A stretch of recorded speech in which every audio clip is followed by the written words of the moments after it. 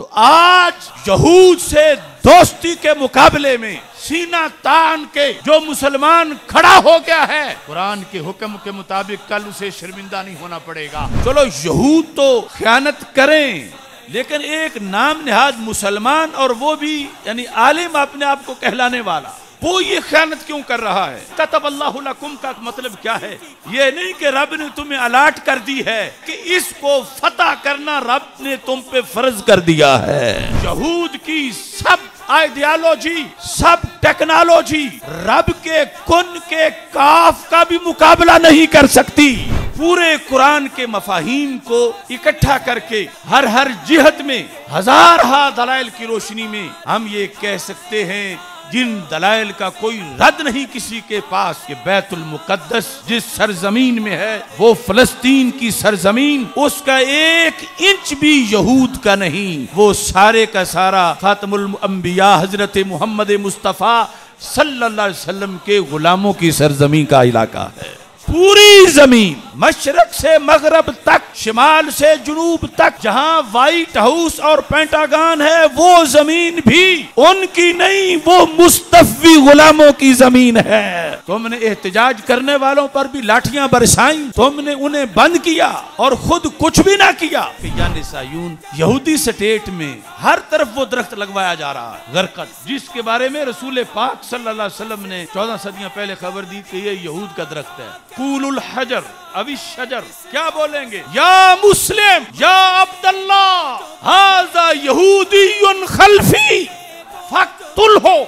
शीरानी अगर तेरी शिकायत खैबर पख्तूनखा के दरख्तों ने लगा दी तो जाल की अलामतें और दज्जाल के जहूर के लिहाज से और जंगों के लिहाज से, जहाँ नबी अक्रम नूर मुजस्म शफी मुआजम सल्लल्लाहु ने नहर उर्दन, उसके शर्क और उसके गर्ब के लिहाज से चौदह सदियाँ पहले बता दिया था। आज सारी अलामत बिल्कुल सिमट के हमारे सामने एक पेज पे आ रही है। इसराइल जो यहूदी स्टेट है, यही दज्जाल का सबसे बड़ा इतिहादी मोर्चा है। यहाँ से ही आगे वो सारे फितने फैलने वाले हैं। मुल्क के नाम के लिहाज से भी इसका असल नाम जो उर्दू में यहूदी स्टेट है, अरबी में कयानुसायून है, उन्होंने दावा कर दिया इसराइल होने का। और चलते चलते उम्मत भी उन्हें इसराइली कहने लगी। यानी हम अगर मुर्दाबाद भी कहें तो फिर इसराइल कह के कहें। एक तरफ़ यहूद का जवाब है, दूसरी तरफ़ लिबरल कीड़े मकोड़ों का जवाब है। फिर शिरानी जैसे गुमराह नाम निहाद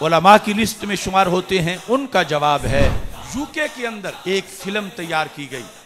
वो फ़िल्म बयक वक़्त, कुरान की सदाकत पे भी हमला है, रसूल पाक सल्लल्लाहु अलैहि वसल्लम की अजमत पे भी हमला है, असहाब रसूल सलाम की नामूस पे भी हमला है, खुद तोहीन रिसालत भी है और तोहीन सैदा फातिमा तो जहरा रदी अल्लाह तहा भी है। वो कौन लोग थे जिन्होंने यूके में, बरतानिया में बड़े बड़े बैनर और पोस्टर जिन पर इस्लाम की दो बड़ी हस्तियों का नाम लिखा है, जिन पर सारे दीन का मदार है रसूल पाक सल्लल्लाहु अलैहि वसल्लम के बाद, उनके नाम के साथ टेररिस्ट लिख के किस तबके के लोगों ने एहतजाज किया वहाँ पर? जो बकवास आज इस फ़िल्म में है, द लेडी ऑफ़ हेवन, ये सब बकवास उस फिरके के जाकिरों ने वहाँ गोजरा में किए थे। आ ये कैसे कहते हैं? कि हमारा इसमें कोई हिस्सा नहीं। इनकी मजालिस के अंदर वो सारे बकवास किए जाते हैं। कौन हो सकता है कि फ़िल्म में जिसको रसूल अक्रम वसल्लम की जात करार दिया गया है, रुख मुस्तफ़ा है वो आईना। अब उसका कोई आईना, ना दुकानें आईना साज में, ना मेरी बज़म ख्याल में। यानी सरकार की तस्वीर तो बन ही नहीं सकती। यही तो झगड़ा है। खाकों वालों से।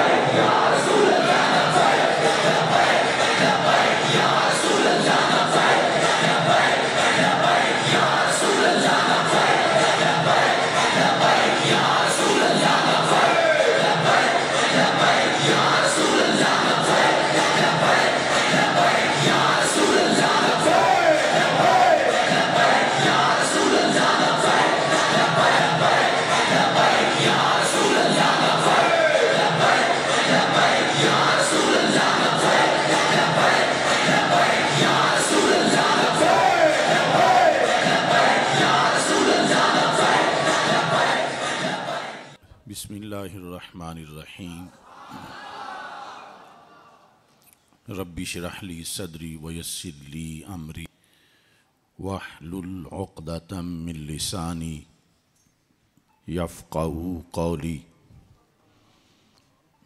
रदीतु बिल्लाहि रब्बा व बिल इस्लाम दीना व बि मुहम्मदिन सल्लल्लाहु अलैहि वसल्लम नबिय्यन व रसूला अल्लाहु अकबर अल्लाहु अकबर लब्बैक लब्बैक लब्बैक या रसूल अल्लाह सल्लल्लाहु अलैहि वसल्लम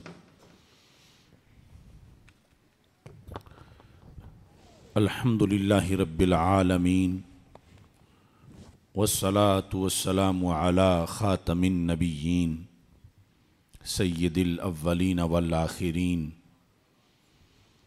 व अला आलिहि व अस्हाबिहि अजमाइन अम्मा बादु फ़ाऊज़ु बिल्लाहि रजीम बिस्मिल्लाहिर्रहमानिर्रहीम वल्लज़ी अरसल रसूलहु बिलहुदा व दीनिल हक़ लियुज़हिरहु अलद्दीन कुल्लिहि वलो करिहल मुशरिकून सदक़ल्लाहुल-अज़ीम व सदक़ रसूलुहुन नबीयुल करीमुल अमीन इन्नल्लाह व मलाइकतहु युसल्लूना अलन नबी या अय्युहल्लज़ीना आमनू सल्लू अलैहि वसल्लिमू तस्लीमा अस्सलातु वस्सलामु अलैका या सय्यदी या रसूल अल्लाह व अला आलिका व अस्हाबिका या हबीब अल्लाह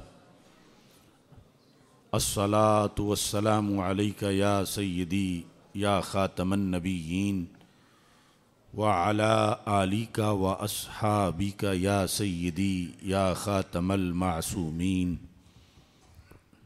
मौला यसल्ली वसल्लम, दाइमन अबदा अला हबीबिका खैरिल खल्क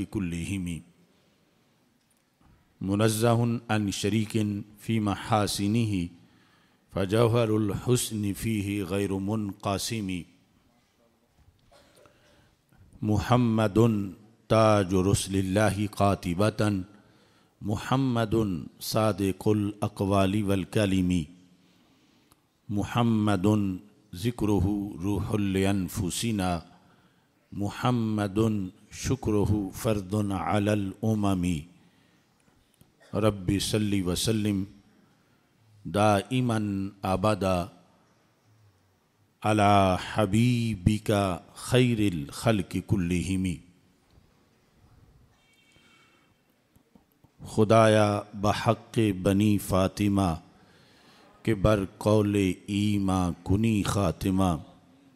अगर दावतम रद कुनी वर कबूल मनो दस्तो दामान आले रसूल सल्लल्लाहु अलैहि वसल्लम।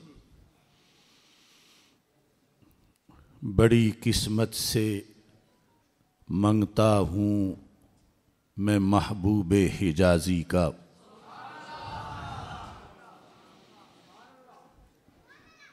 बड़ी किस्मत है मंगता हूँ मैं महबूब हिजाजी का। जिन्हें खालिक ने खुद मनसब दिया बंदा नवाजी का।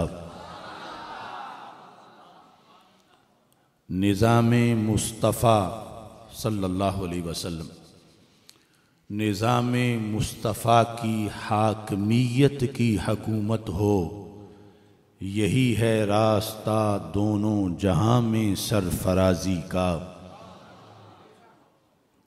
अगर तुम जान लो उस लुत्फ को हालत में सजदे की, तुम्हें मालूम होगा मर्तबा फिर एक नमाजी का।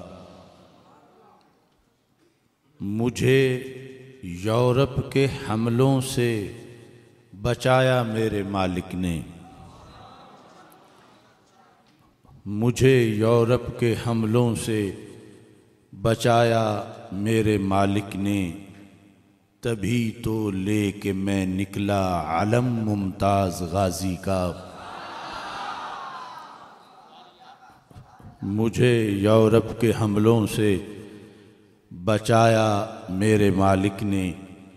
तभी तो ले के मैं निकला आलम मुमताज़ गाजी का।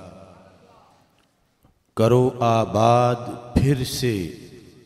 मकतबो मस्जिद मदारिस को। करो आबाद फिर से मकतबो मस्जिद मदारिस को। यही था मशगला आबा का, रूमी और राज़ी का। इबादत इस्तानत को बराबर तोलने वालों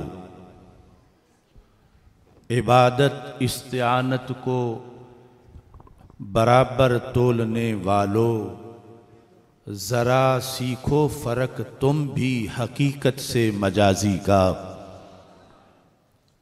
इबादत इस्तानत को बराबर तोलने वालों, ज़रा सीखो फ़र्क तुम भी हकीकत से मजाजी का। दलाइल की जगह मौक़ पे जो गाली सुनाते हैं। दलाइल की जगह मौक़ पे जो गाली सुनाते हैं। सजे मैदान तो हो फैसला तुर्की का ताजी का। नहीं मेरे मुखालिफ में सकत के सामने आए।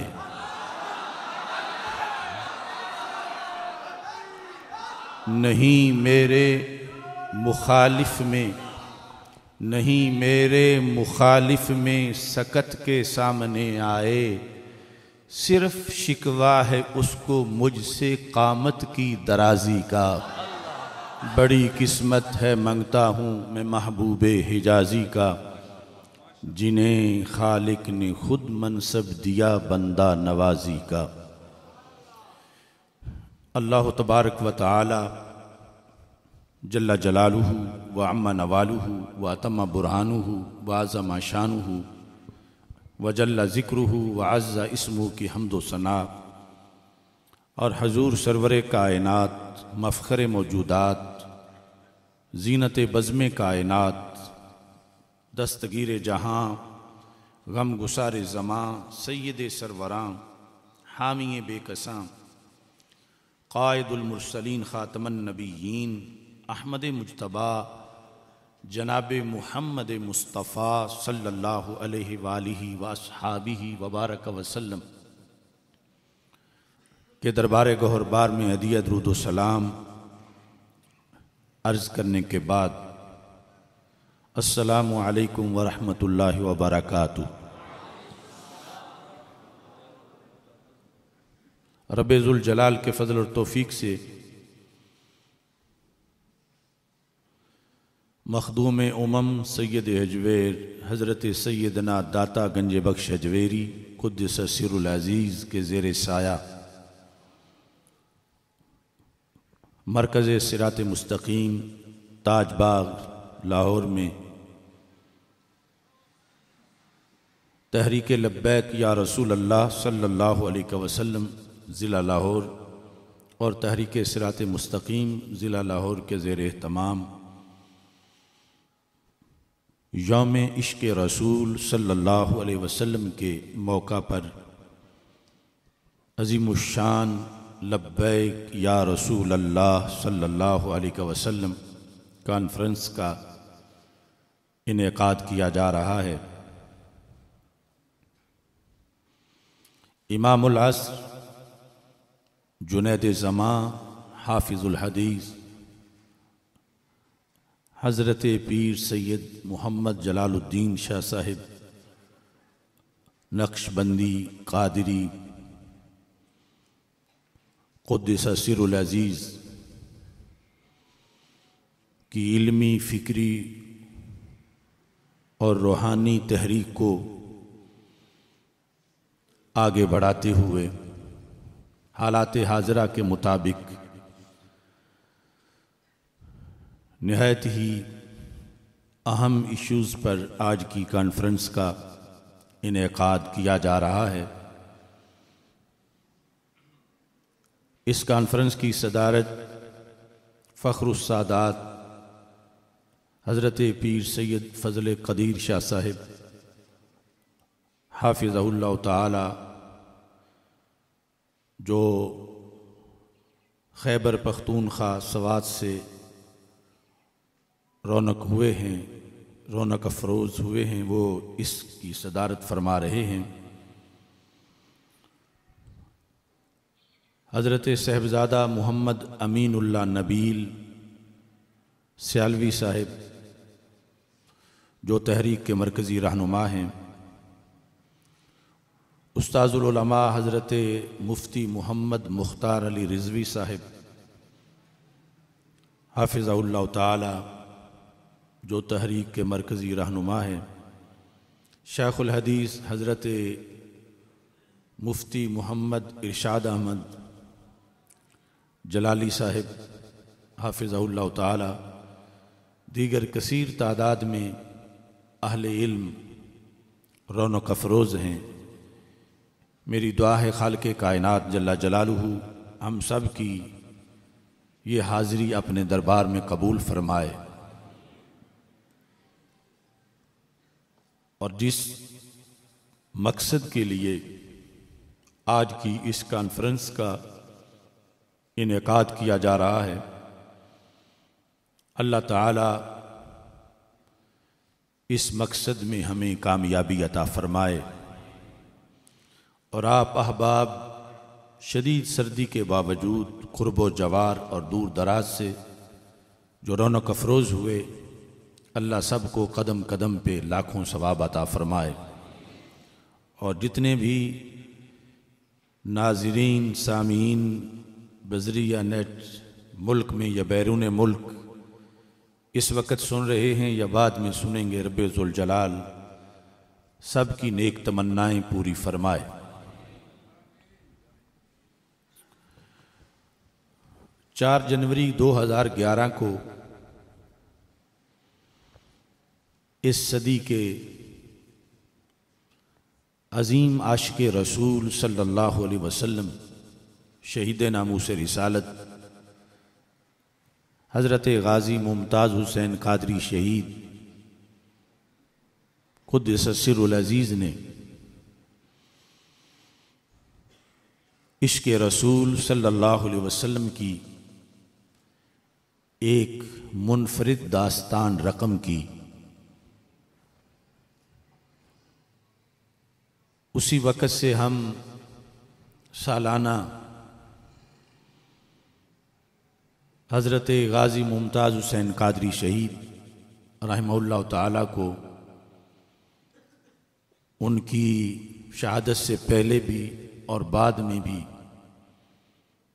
चार जनवरी को योम इश्क रसूल सलाम के उनवान से हम मनाते हैं। उसी प्रोग्राम की मुनासबत से आज की इस कॉन्फ्रेंस का भी इनका किया जा रहा है। इसमें ये बात भी पेश नज़र है कि वक्त जब गुज़र जाता है तो कुछ लम्हे ऐसे होते हैं कि जिनके असरात कई सालों और सदियों तक जाते हैं।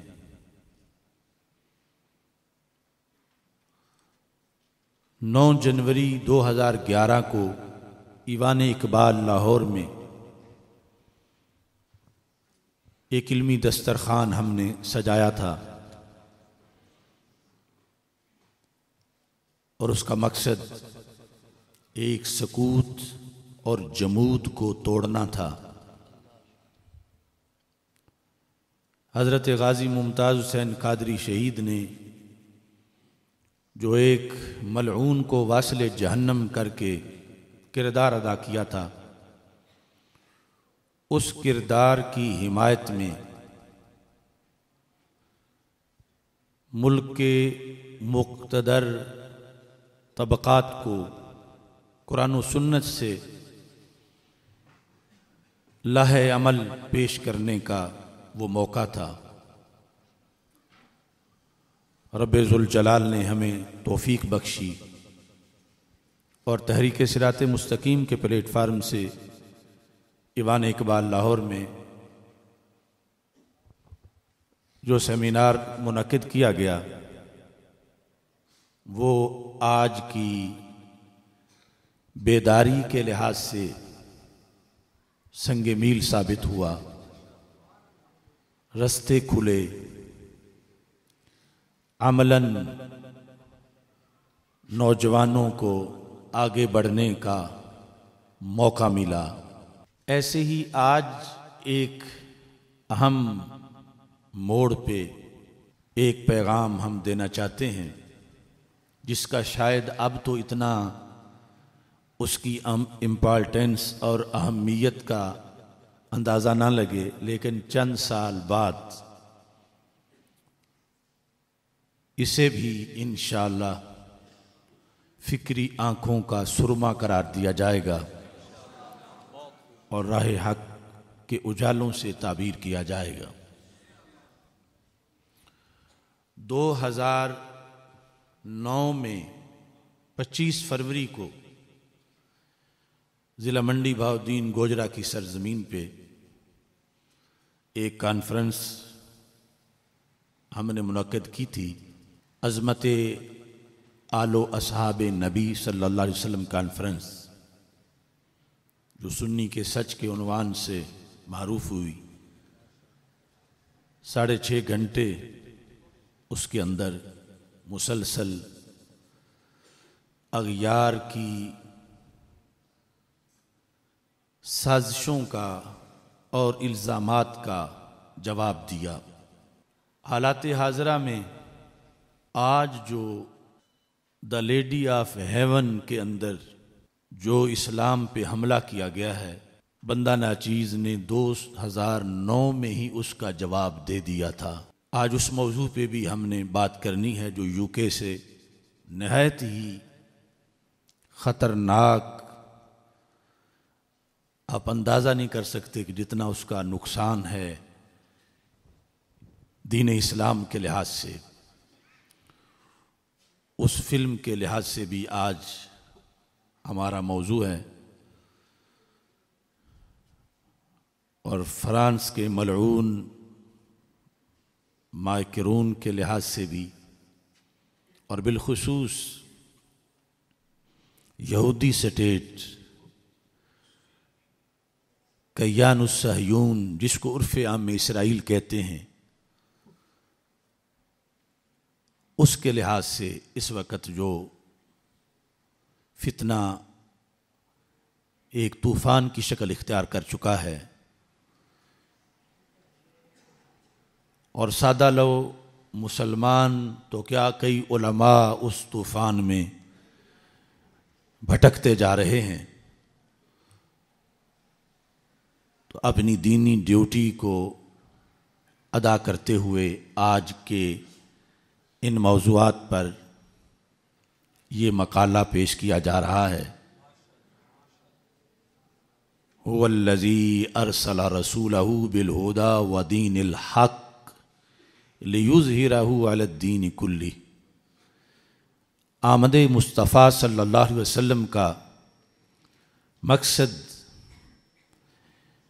दीन इस्लाम को हर दीन पे गालिब करना, करार पाया। और यही ड्यूटी हमारे आका सल्लल्लाहु अलैहि वसल्लम ने अपनी उम्मत को अता फरमाई। और यही काम उम्मत में सबसे बड़ा काम है कि जिसके लिए जिस हद तक हो सके हम सबको उसमें हिस्सा लेना ज़रूरी है। यहूदी स्टेट, इसराइल, जिसको कहा जाता है।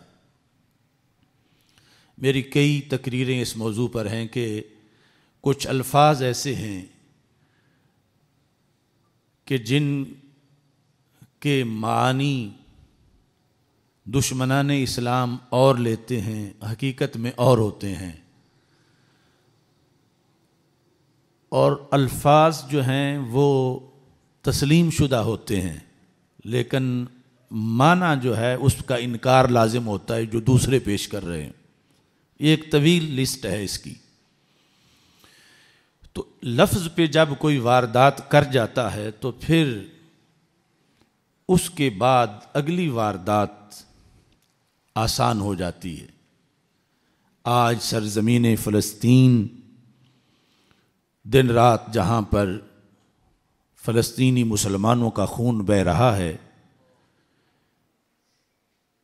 सबसे पहले यहाँ पर सदियों पहले वारदात यहूद की तरफ़ से लफ्ज़ इसराइल में हुई और उसके बाद उसी ख़यानत को ज़मीनी ख़यानत की शक्ल दी गई।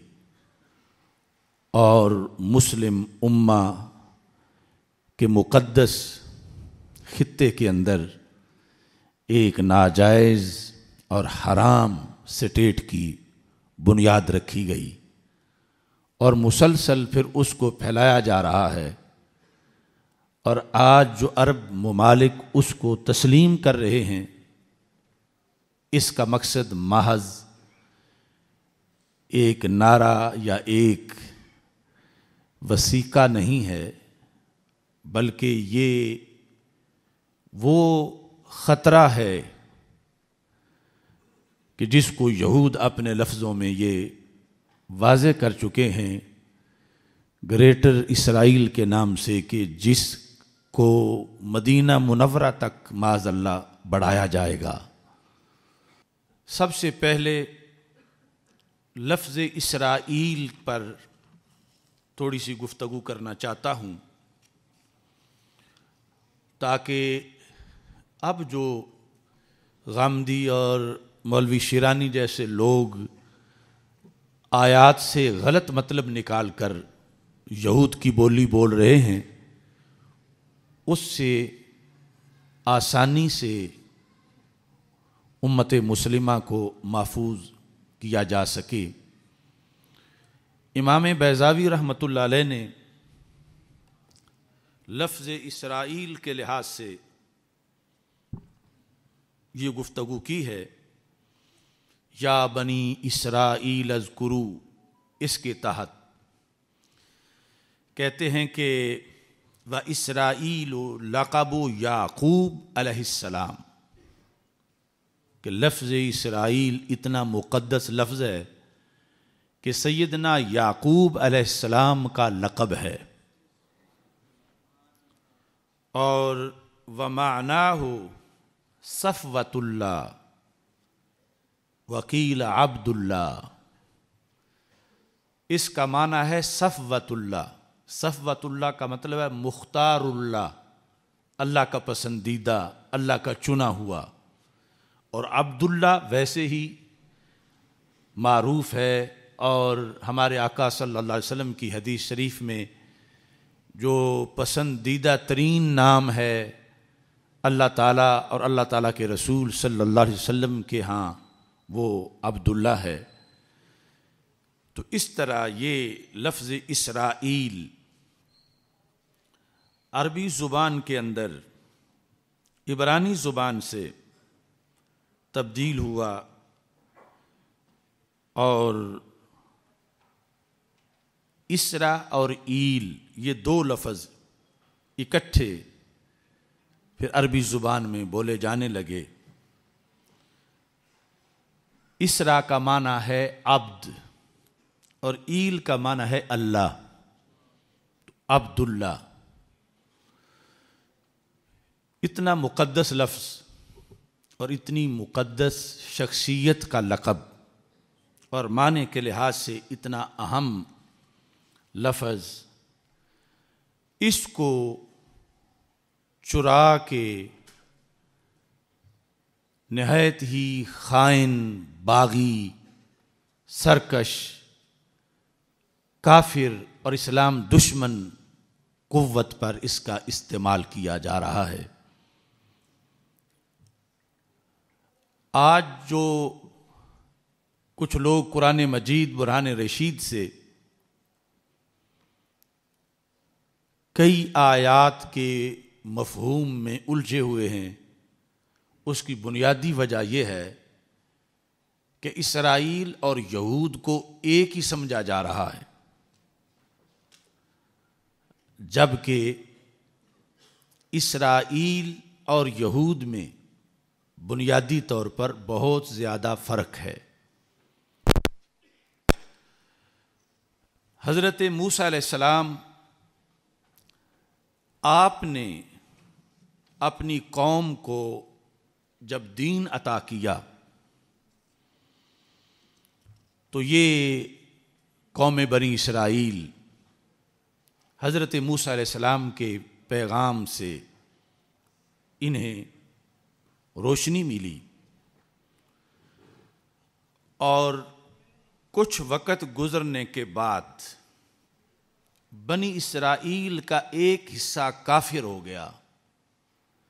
बनी इसराइल से जो लोग कुफर में गए, उनको यहूद कहा गया। और ख़ुद बनी इसराइल, उसके लिहाज से कुरान मजीद, बुरहान रशीद ने वाज तौर पर ये पहले पारे के अंदर भी तस्करा करते हुए ये उनकी शान को बयान किया। या बनी इसराइल अजकरू नमती अनआम तो अलैकुम व अन्नी फ़द्दल तो कुम आलमीन। कह औलाद याकूब, याद करो मेरा वो एहसान, जो मैंने तुम पे किया।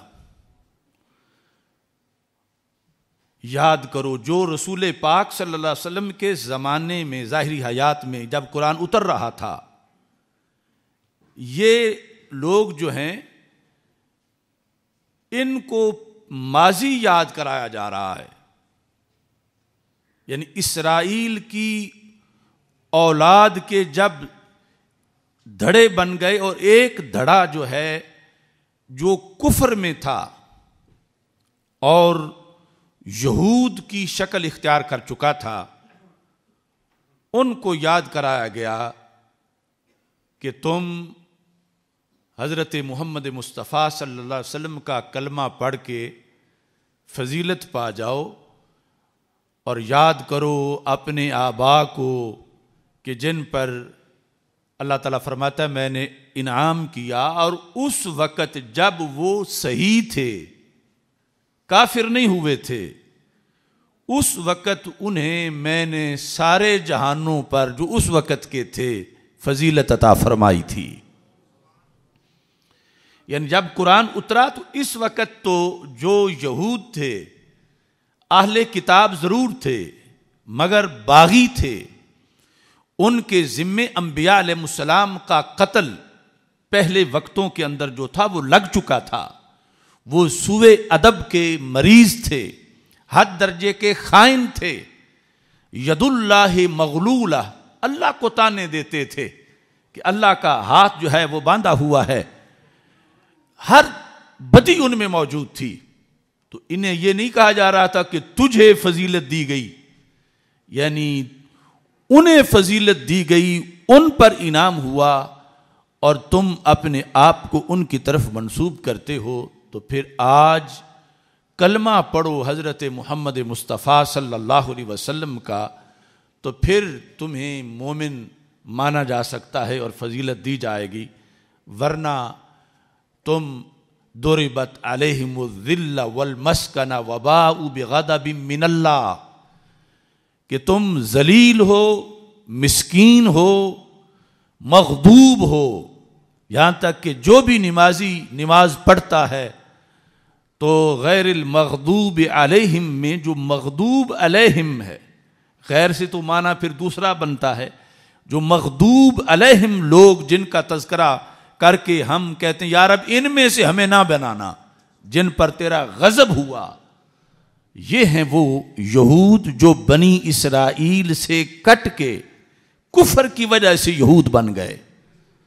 और बनी इसराइल का वो वक़्त जब वो हज़रत मूसा सलाम उन्हें दीन देकर रस्ते पे रास्त फ़िक्र में चला रहे थे, ये लोग जो उनसे इख्तलाफ करके जुदा हो गए, अपने नबी से बगावत कर ली और कुफर का रास्ता इख्तियार किया, ये यहूद करार पाए।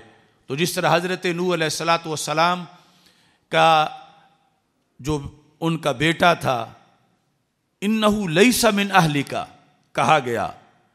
तो ये भी बनी इसराइल का एक हिस्सा थे, यानी इसराइल का। बनी इसराइल तो फिर भी थे ही, हिस्सा थे, लेकिन चूँकि इन्होंने कुफर किया तो इसकी वजह से इनकी अजमतें छीन ली गईं, और ये खुद अपने आप को हलाकतों और नहुस्तों और बर्बादियों की वादियों की तरफ़ ले गए। अब कुरान मजीद, बुरहान रशीद में हज़रत मूसा सलाम ने इनको हुक्म दिया। अब जब अभी उनका जहरी हयात का ज़माना मौजूद था, ये बाद वाले जो इनकी बात नहीं हो रही। वो हज़रत मूसा सलाम के साथ जो मौजूद थे, उनके लिहाज से सूरह मायदा में ये अल्फाज मौजूद हैं, जो आज यहूद के हामी उनको पढ़कर वारदात करना चाहते हैं कि हज़रत मूसा सलाम ने कहा, या कौम, या कौमिद खुलुल अर्दल मुकद्दस ए मेरी कौम, तुम अर्द मुक़दसा में दाखिल हो जाओ। अल्लती कतबल्लाकुम वो अर्द मुकदसा जो अल्लाह ने तुम्हारे लिए लिखी है। वला तरतद्दू अला अदबारिकुम फ़तन कलिबू खासरीन। और पीछे ना पलटो कि अगर पीछे पलटोगे तो फिर खसारा ही खसारा तुम्हारे लिए होगा। ये पीछे, इससे एक आयत पीछे वज़ काला मूसा कौमी ही या कौमिज़ कुरू नमत अल्लाकुम वो सारा मजमून आ रहा है। और फिर आगे, या कौम, यानी हज़रत मूसा अपनी कौम से खिताब कर रहे हैं। कौम कौन है? बनी इसराइल। आज उस कौम के लिहाज से जो खिताब था रब जलाल का कि मूसा सलाम ने कहा कि कौम तुम अर्द मुकदसा में दाखिल हो जाओ। अर्द मुकदसा के कई मानी किए गए हैं, लेकिन सबसे अहम माना अर्द मुकदसा का फ़लस्तीन की सरजमीन है। वैसे मिस्र तूर का एरिया, लेकिन सबसे अहम जो खत्ता फ़लस्तीन है, शाम के मजमू इलाके के अंदर जो हिस्सा है तो मूसा सलाम ने फरमाया, तुम अर्द मुकद्दसा में दाखिल हो जाओ। बनी इसराइल को हुक्म दिया। आज के यहूद उसी बनी इसराइल का टाइटल अपने ऊपर लगाते हुए अगले हिस्से से इस्तदलाल करते हैं कि अर्द मुकद्दसा अल्लती कतबल्लाकुम वो अर्द मुकदसा फ़लस्तीन की सरजमीन, जो रब ने तुम्हारे लिए लिख दी है। कातबल्लाकुम ये जो मौलवी शेरानी ने इस्तलाल पेश किया, यानी ये नहीं कि अब यहूद कई सदियों से ये पेश कर रहे हैं, ख़यानत के लिहाज से। तो इसने फिर कहा कि यानी अल्लाह ने वो ज़मीन तुम्हें अलाट कर दी है। तो मूसा ने फरमाया, मेरी कौम, तुम अर्द मुकद्दसा में दाखिल हो जाओ। वो अर्द मुकद्दसा फ़लस्तीन है और वो रब ने तुम्हारे नाम लगा दी है। तो फिर यहूदी कहते हैं, वो है ही हमारी। और मुसलमानों का कब्जा जो है, मुसलमानों का उस पर मिल्क, इसको वो चैलेंज करने के लिए ये आयत पढ़ते हैं। और उसी बोली को बोलते हुए देवबंदी मौलवी शिरानी ने यह कहा कि अगर आज हम इसराइल को, जो यहूदी स्टेट का गलत नाम है, अगर हम उसे तस्लीम कर लें तो ये तो है ही उनकी सरजमीन। फिर तस्लीम करने में हर्ज क्या है? यहाँ तक ये फितना पहुँचा के कुरान से एक ऐसी चीज़ का इस्तलाल किया जा रहा है कि जो वाज तौर पर उम्मत मुस्लिमा की खुदकुशी बन जाएगी, जो वाज तौर पर हराम और नाजायज है और पढ़ा उस पर कुरान मजीद जा रहा है और वो मौलवी शिरानी ने वो पश्तों में उसकी तकरीर है उसमें, लेकिन तबसरा इंग्लिश में, वो यहूदी स्टेट वालों ने वहाँ इसराइल में किया है कि ये इस्लामिक आइडियालॉजी काउंसिल जो पाकिस्तान की है, उसका सबक चेयरमैन है, जिसने कुरान से ये पेश किया है। और फिर उसने पश्तों में यह कहा कि उलमा को सोचना चाहिए इस बारे में और ज़िद नहीं करनी चाहिए। खून रेजी नहीं करनी चाहिए, खून नहीं बहाना चाहिए। लिहाजा इसराइल को तस्लीम कर लेना चाहिए माजल्ला ये यानी हालात हैं इस वक्त कि मुसलमानों के अंदर से, चलो यहूद तो स्पेशलिस्ट हैं ख्यानत के, और वो पहले लफ्ज में उन्होंने की और फिर इलाके पे कब्जा कर लिया। लेकिन आगे से ये उम्मत मुस्लिमा के अंदर से पहले तो लिबरल टोला था। और अब मौलवी उलमा में से उन्होंने कुछ लोगों को खरीदा और इस तरह की बातें जो हैं वो शुरू हुई। इस बुनियाद पर आज के इस मकाला के अंदर इस आयत का मतलब वाज करना मकसूद है। कि अर्द मुकदसा फलस्तीन मुसलमानों का हक है और यहूद इसके एक इंच के भी वारिस नहीं। फलस्तीन फलस्तीनियों का है। इस पर हम शिरानी के इस मौजू के लिहाज से सर फरिस्त जो आज दलाल पेश करेंगे, आयत की तफसीर आयत का माकबल माबाद दीगर आयात, आयत के बारे में महक्कीन की आरा और फिर हदीस शरीफ की रोशनी में इसका जो पस मंज़र है वो बयान करेंगे।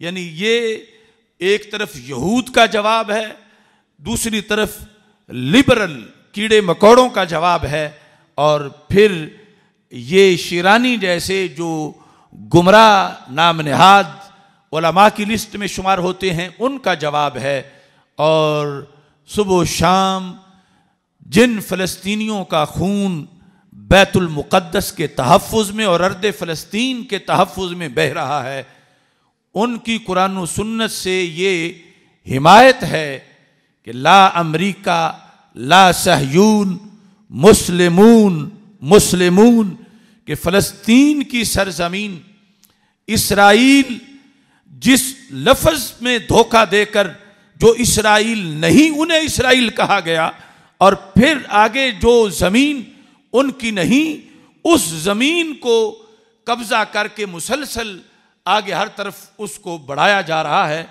और दज्जाल की अलामतें और दज्जाल के जहूर के लिहाज से और जंगों के लिहाज से, जहाँ नबी अकरम नूर मुजस्म शफ़ी मुज़म सल्लल्लाहु अलैहि वसल्लम ने नहर उर्दन उसके शर्क और उसके गरब के लिहाज से जो चौदह सदियाँ पहले बता दिया था, आज वो सारी अलामत बिल्कुल सिमट के हमारे सामने एक पेज पे आ रही हैं और आंखा, आँखें खोल कर समझना इस वक्त उम्मत मुस्लिमा पे ये फ़र्ज़ है कि यही नाम नहाद इसराइल जो यहूदी स्टेट है यही दज्जाल का सबसे सबसे बड़ा इतिहादी मोर्चा है और यहाँ से ही आगे वो सारे फितने फैलने वाले हैं कि जो कुर्ब क़्यामत और उससे रिलेटेड जो भी मजामी हमें हदीस मुस्तफ़ा सल्लल्लाहु अलैहि वसल्लम के लिहाज से मिलते हैं।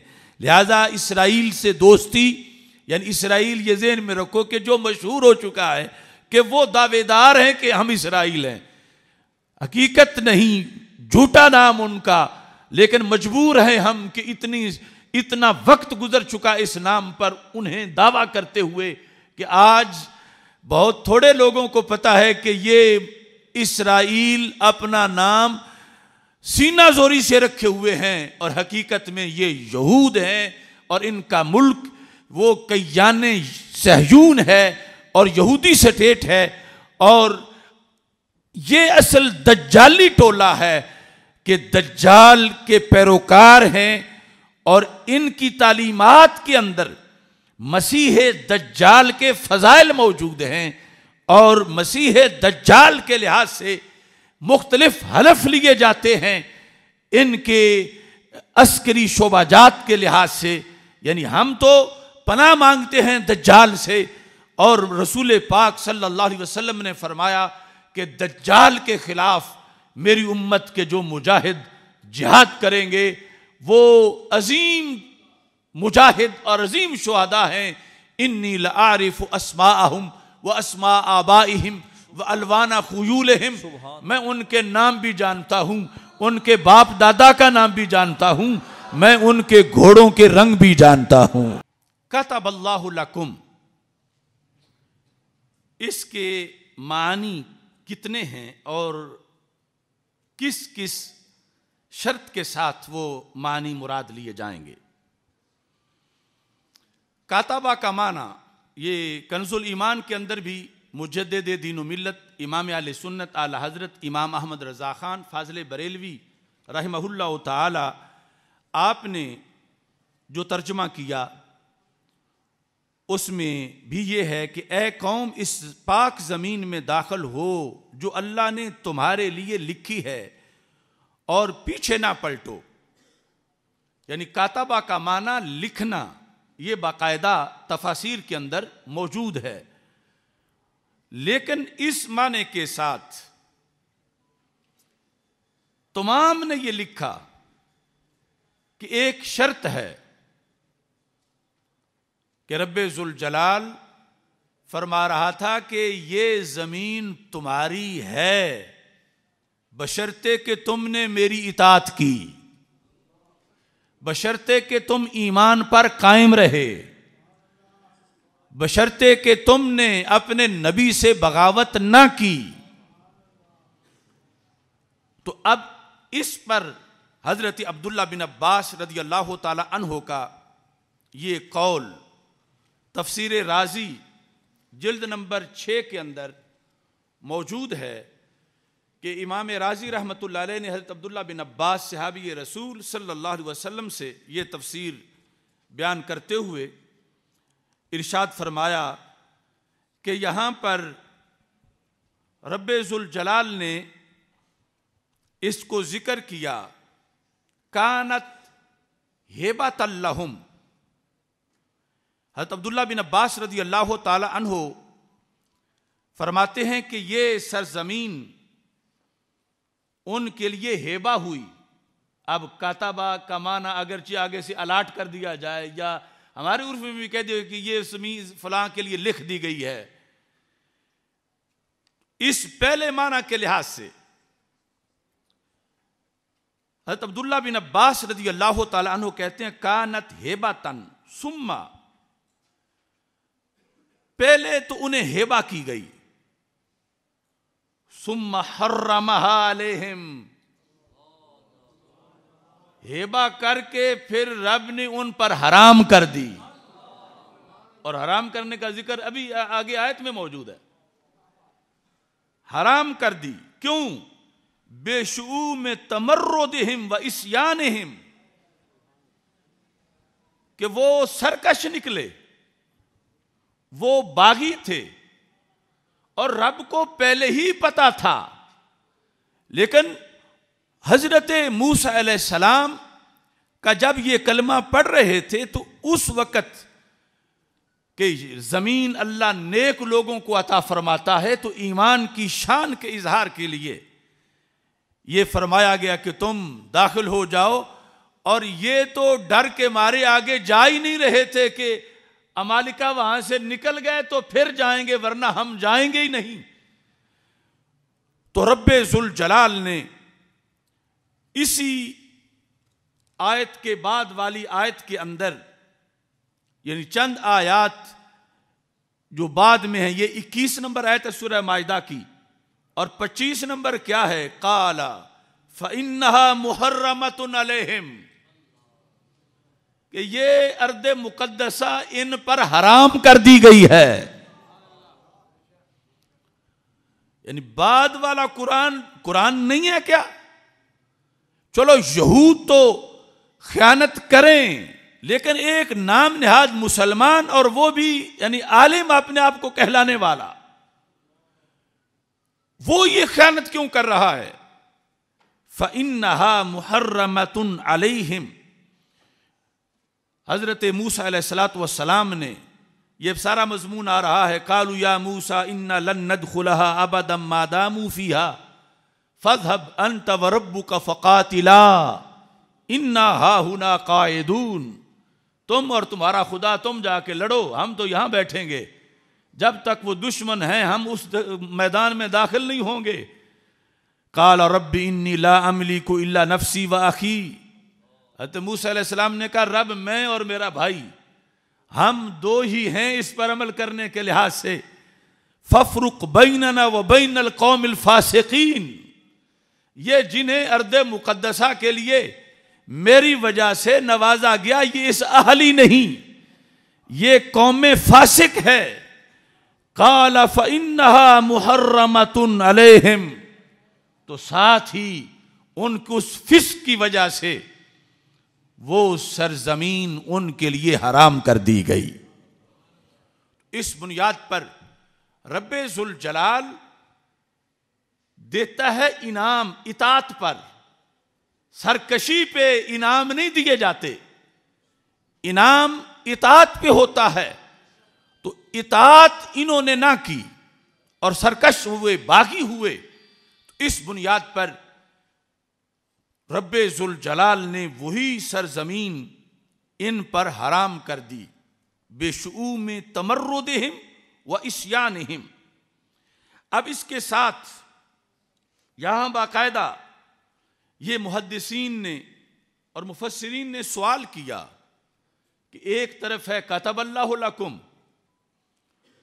और दूसरी तरफ़ है मुहर्रमतुन। तो ये तो कुरान में तारुज आ जाएगा। उधर जो है वो है कि कतब अल्लाह रब ने रब ने लिख दी है और आगे है कि अल्लाह ताला ने उसको हराम कर दिया है। तो सबने कहा, इसमें कोई तारुज नहीं है।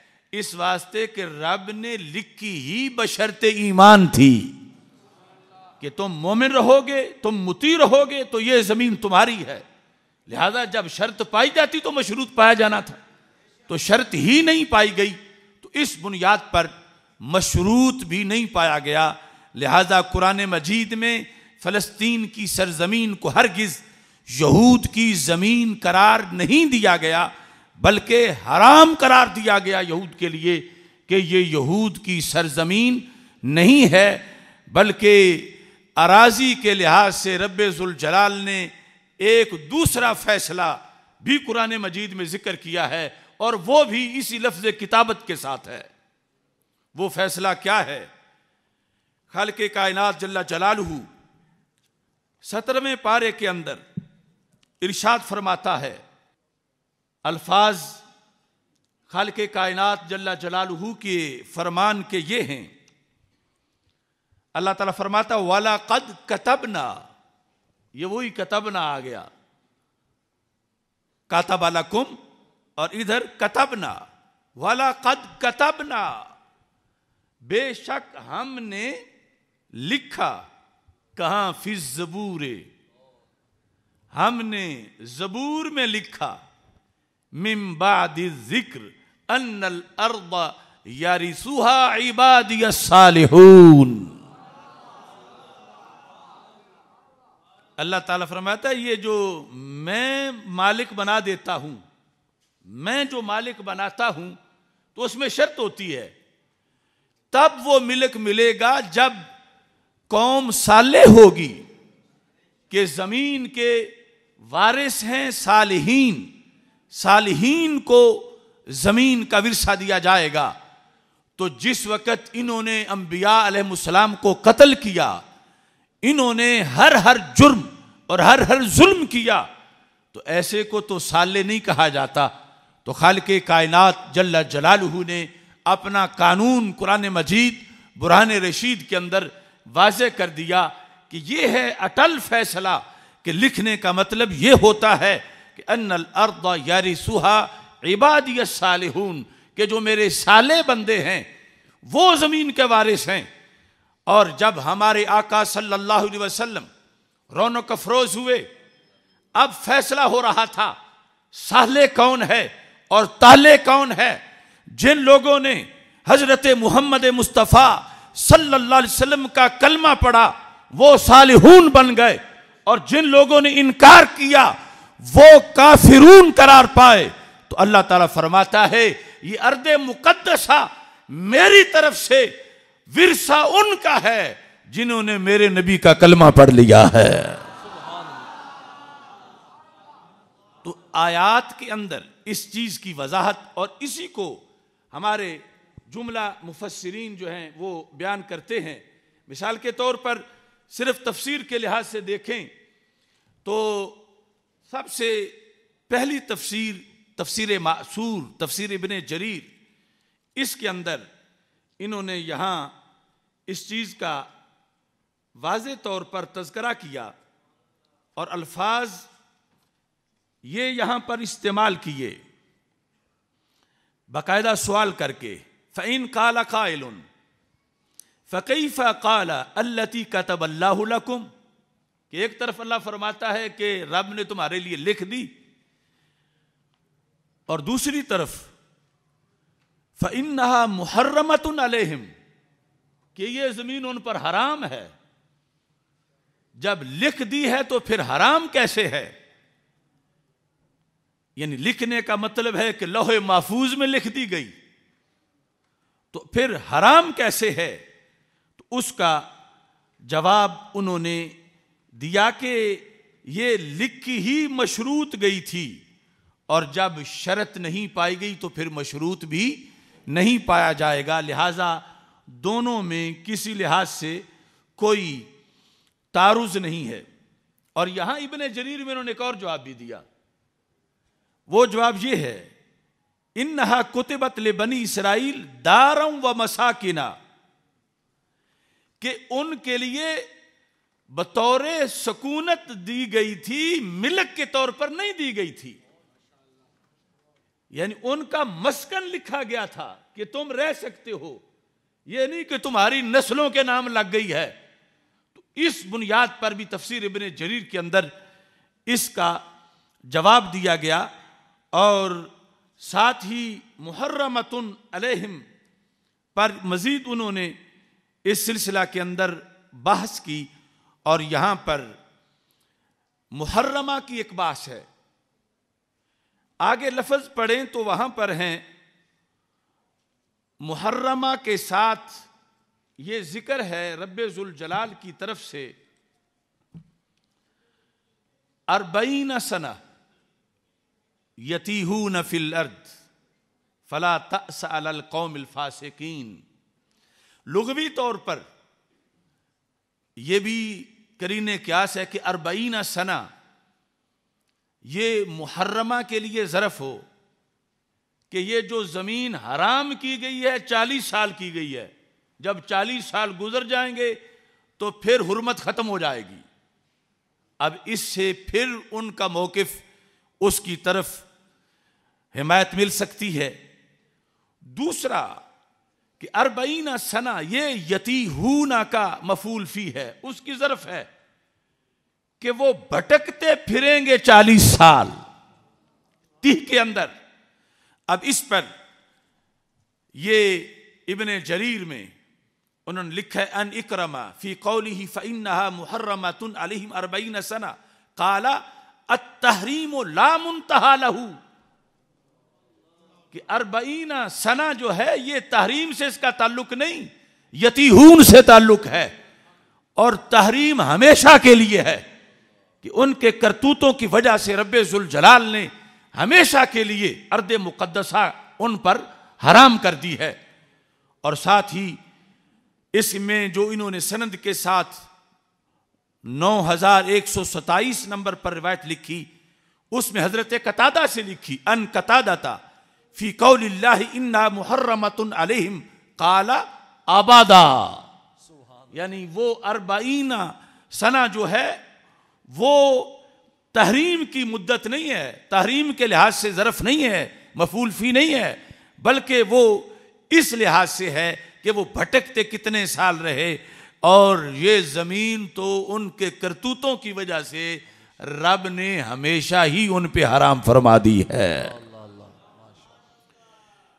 तफसीर इबन जरीर के साथ जमकशरी की जो कशाफ है इसमें भी इस चीज़ को उन्होंने डिस्कस किया और सवाल जवाब की शक्ल में पेश किया। चूँकि आगे इस, इस पर आयात हैं जो दूसरे माने को रद्द करती हैं यानी ये नहीं कि सिर्फ़ एतमाल तो फिर वो भी है अगर ज़यीफ सही। दूसरी आयात एक फ़ीसद भी यह एहतमाल बाकी नहीं रहने देती। ये कशाफ के अंदर इसी मजमून को बयान करते हुए ये अल्फाज लिखे गए हैं। जमकशरी की तरफ़ से अगरचे अकीदे के लिहाज से उसका एक दूसरा मामला है।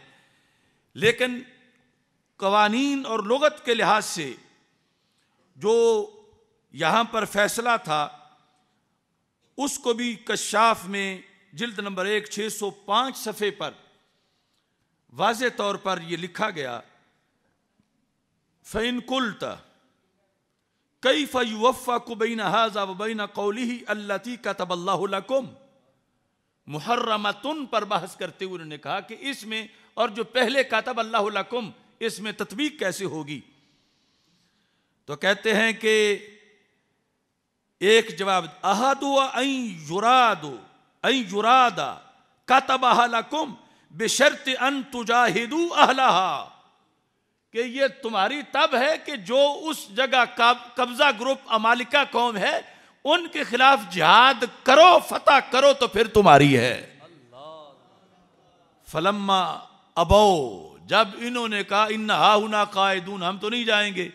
जिहाद से इन्होंने इनकार कर दिया।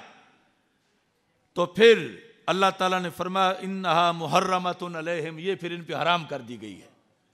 यानी ये बाकायदा उनका अपना जुर्म था कि जिसकी वजह से उनसे एक चीज़ दे के छीन ली गई। उनके उस बुरे किरदार और उन करतूतों की वजह से। तो जमकशरी ने भी इस चीज़ को इस मकाम पर ज़िक्र किया और इसके साथ बाकी तफासिर से भी मैं इख्तसारन अर्ज़ कर देता हूँ रूहुल मानी के अंदर। इसको जिल्द नंबर चार में जो ज़िक्र किया गया है, या कौम उदखुल अर्दल मुकदसा यहाँ इन्होंने अन कतादाता वसुद्दी अन्नलमाना अल्लती अमरा कुमुल्लाह ताला बिदखूलहा व अलैकुम। अब ये एक अलहदा माना है। इसकी तरफ़ भी तवज्जो करो सबक तो कुरान का है, मुश्किल भी है, लेकिन यहूदियों ने तो कीड़े मकोड़े छोड़े हुए हैं। यानी यहूद हमारी किताबों से इतनी महारत हासिल करके इतराज कर रहे हैं। बाकायदा उन्होंने किताबों में ये आयात लिख के हवाले देकर, और अगर हम ये किताबें ना पढ़ें या कोई हमें सुनाए और हमें दर्द शुरू हो जाए तो फिर इस्लाम को गालिब कैसे करेंगे? यानी वो दुश्मन होके हमारी किताबों से एतराज़ याद कर रहे हैं और हमें जवाब याद नहीं हो रहा, या जवाब कोई बयान नहीं कर रहा, या बयान कोई करे तो जवाब सुनने का हमारा मूड नहीं बन रहा। और उधर जंग पूरी दीन की है कि यहूद के मुकाबले में मुस्लिम फाते कैसे बनेगा? तो यहाँ दूसरा माना, अगरचे काताबा का वो ही करेंगे, लिखा। लेकिन कैसे लिखा? रूहुल मानी में है कि ये यूँ है, जैसे अल्लाह ताला ने फरमाया, या युल्लदीन आमनु कुतिबा अलैकुमुस्सियाम कि तुझ पर रोजा फ़र्ज़ कर दिया गया। कोतेबा का मतलब क्या है? यह नहीं कि रोजा तुम्हें अलाट कर दिया गया, तुझ पे रोजा फ़र्ज़ कर दिया गया। तो यहाँ कतब अल्लाकुम का मतलब क्या है? इन्होंने मुख्तलिफ़ आइमा के हवाले से, हज़रत कतादा के हवाले से ये लिखा, अन्नल माना अल्लती अमरा कुमुल्लाह ताला बेदखूलहा व फरादहू अलैकुम। ये नहीं कि रब ने तुम्हें अलाट कर दी है मतलब यह है कि इसको फतह करना रब ने तुम पे फ़र्ज़ कर दिया है। सुबहान अल्लाह कि इसे फतह करो दुश्मनों से हासिल करो। इसको अमालिका कौम को इससे बाहर निकालो। ये है कि रब ने तुझ पे फ़र्ज़ किया। तो ये बगौड़े एक तरफ़ तो फ़र्ज़ नहीं माना और दूसरी तरफ़ आज वही ज़मीन मांगते हैं। कातबल्लाह रब ने लिखा, क्या? अंदलमाना अल्लाती आमरा कुमुल्लाह ताला, कि रब ने हुक्म दिया बेदखूल इसमें दाखिल हो जाओ। वह फरादहू अलैकुम तो तुम पे फ़र्ज़ किया कि ये मेरे कहने पर दाखिल होना इस ज़मीन में तुम पे फ़र्ज़ है। तो कहते हैं फलकत बुहा हुना मासलहू फ़ी कौली ही ताला कोतबा अलैकुमुस्सियाम। जिस तरह वहाँ कोतबा है कि तुम पर रोजा फ़र्ज़ कर दिया गया। ऐसे ही जुल जलाल ने उन पर उस इलाके को फतह करना और फतह के लिए दाखिल हो जाना और ताकतवर दुश्मनों से ना डरना, बुजदिल ना बनना और दाखिल हो के उन्हें मार के वहाँ से निकालना, ये रब ने उन पर फ़र्ज़ किया था। अब इस माने के लिहाज से भी मजीद मफहूम वाजे हुआ कि कुरान मजीद क्या कह रहा है और ये लोग अपने घर बैठे क्या सोच रहे हैं? पूरे कुरान के मफाहिम को इकट्ठा करके हर हर जिहत में हज़ार हा दलाइल की रोशनी में हम ये कह सकते हैं, जिन दलाइल का कोई रद्द नहीं किसी के पास, कि बैतुल मुकद्दस जिस सरजमीन में है, वो फलस्तीन की सरजमीन, उसका एक इंच भी यहूद का नहीं।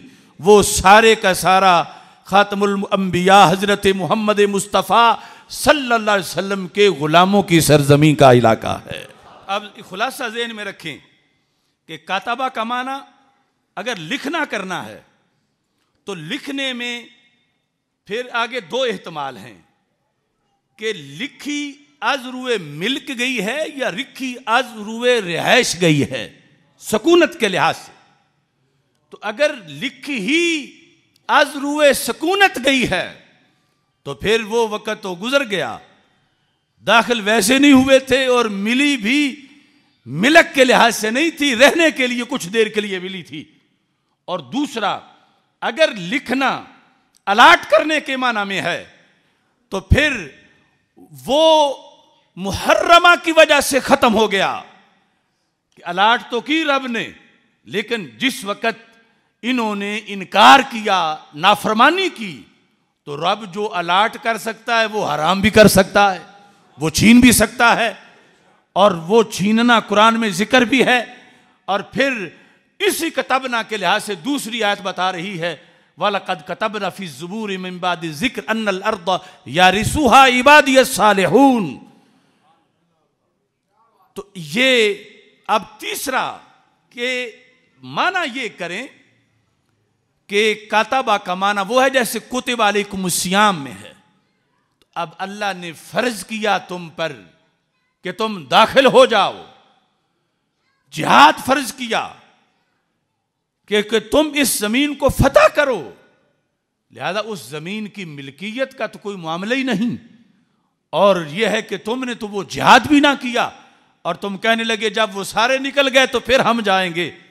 और वरना फजबन तबरबू का फ़कातिला, इन्ना हाहुना कायदून यानी क्यामत तक के लिए एक शर्म की अलामत बन गए ये लोग कि जो अपने पैगंबर से कहते हैं, तुम जाओ, हम तो यहाँ बैठे हुए हैं। और उधर मस्जिद नबी शरीफ में जब बदर के मौका की मीटिंग हो रही थी तो सहाबा किराम रदी अल्लाह तुम कह रहे थे, लो अमर तना अनखीदहा फिल बहरी ला खदनाहा वलो अमर तना अन नदरिबा अकबादहा इला बरकिल गिमाद महबूब अगर हुक्म दो तो घोड़ों समेत समुद्रों में छलांगे लगा जाएँगे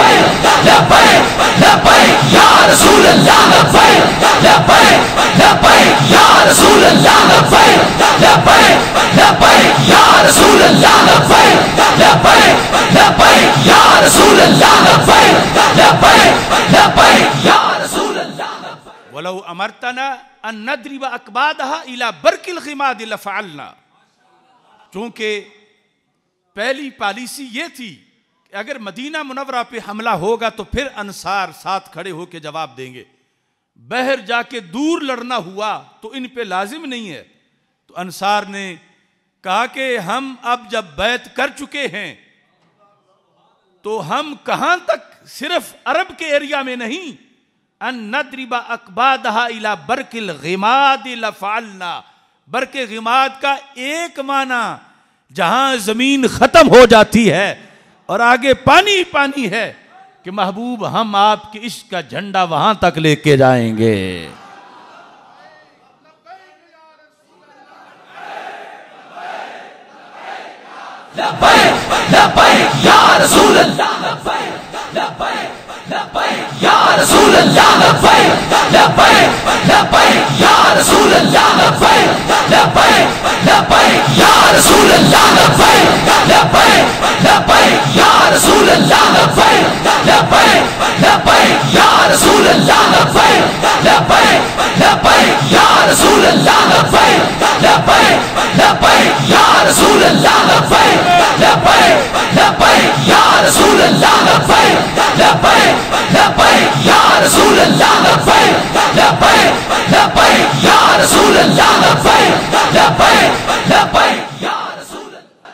तो तफसीर रूहुल बयान के लिहाज से इसमें सूरह मादा का ये जो मकाम है, काला फ़िन्हा मुहर्रमतुन।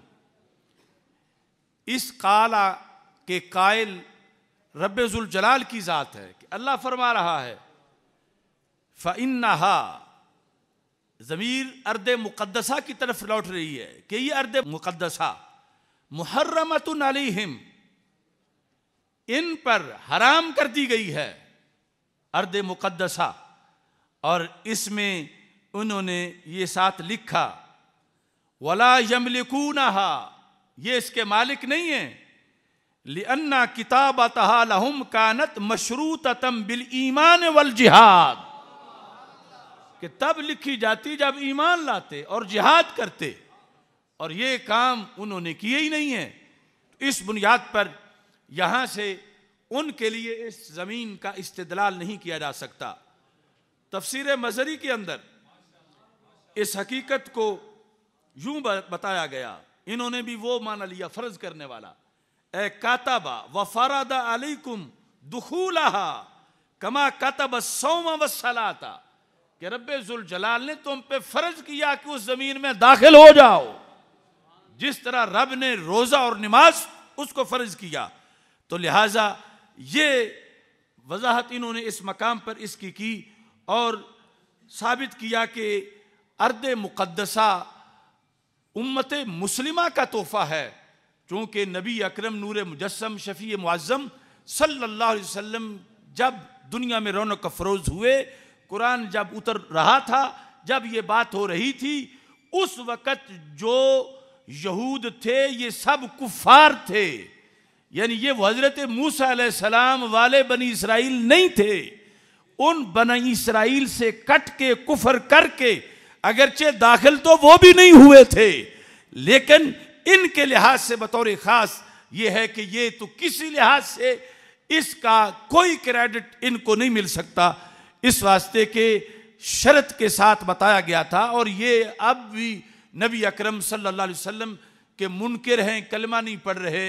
अगर कलमा पढ़ते हैं तो यार सुहा इबादी सालहून तो फिर ये ज़मीन विरसे में मिलेगी, वरना विरसे में नहीं मिलेगी।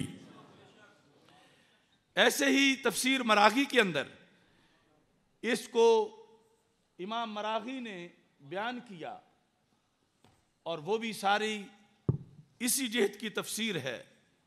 उसमें लिखा है कि यहाँ पर इन्होंने मजीद तफसील की। कातबल्लाकुम युरीद बिही मा वाद अल्लाह बिही इब्राहिम मिन हक के सुकना फ़ी तिलकल बिलादिल मुकद्दसा। कहते हैं, जो हज़रत इब्राहिम सलाम के साथ अल्लाह ने वादा किया था कि बिलाद मुकद्दसा के अंदर तुम्हें सकूनत दी जाएगी। ये काताबा उस वादे का जवाब है। ला अन्नल मुराद अन्नहा तकून कुल्लुहा मिलकल्लहुम ला युजाहिम फिहा अहादुन। कहते हैं, लिअन्न हाजा मुखालिफुल वाक़े, कि रब्बुल जलाल ने एक वादा किया था और उस वादा को इन्होंने पूरा नहीं किया। यानी इस वादे के लिहाज से रब तो पूरा करने वाला था कि शर्त पूरी करते तो। कहते हैं मनसुहाजलवाद फ़ी सिफरी तकवीन मिन तौरात। कि जो यहूद की किताब है तौरात, उसका हिस्सा जो सिफर तकवीन है, उसके अंदर वादे का तस्करा है। जिस वादे के जवाब में खाल के कायनात जल्ला जलालहू ने ये इरशाद फरमाया था और साथ शर्त लगाई थी कि तुम ऐसा करोगे तो फिर ईमान और इतात की शक्ल में ये तुम्हें ज़मीन दी जाएगी। लेकिन इन्होंने ना ईमान कबूल किया, यानी जो माने हुए थे वो भी मुनकर हो गए और इतात ना की। तो इस बुनियाद पर कुरान मजीद बुरहान रशीद के इस मकाम से इनके लिए किसी लिहाज से भी इस्तलाल नहीं किया जा सकता। अब दूसरी आयात देखें, जो मुस्तकिल फैसला करने वाली हैं। कुरान मजीद, बुरहान रशीद के अंदर खल के कायनात जल्ला जलालहू, ज़मीन का इनाम देने के लिहाज से उसने कुछ शर्तें बयान की हैं। उन शर्तों के लिहाज से रबुल जलाल का ये फरमान है। मिसाल के तौर पर सूरा इब्राहिम, पारा नंबर तेरह। वकाल अल्लाजीना काफरूल रसूलहिम काफिरों ने अपने रसूलों से कहा लनुखरी जन्न मिन अर्दिना। कि हम ज़रूर तुम्हें अपनी ज़मीन से माजल्ला निकाल देंगे। काफिरों ने रसूलों से कहा ओ लतऊदुन्नफी मिल्लतिना। या तुम हमारे दीन पे वापस आ जाओ, हमारे दीन पे आ जाओ, हमारे दीन पे हो जाओ।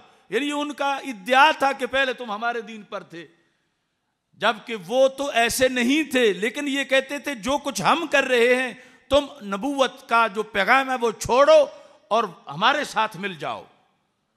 फ़ा इलेहिम तो रब ने वाही की नबियों को।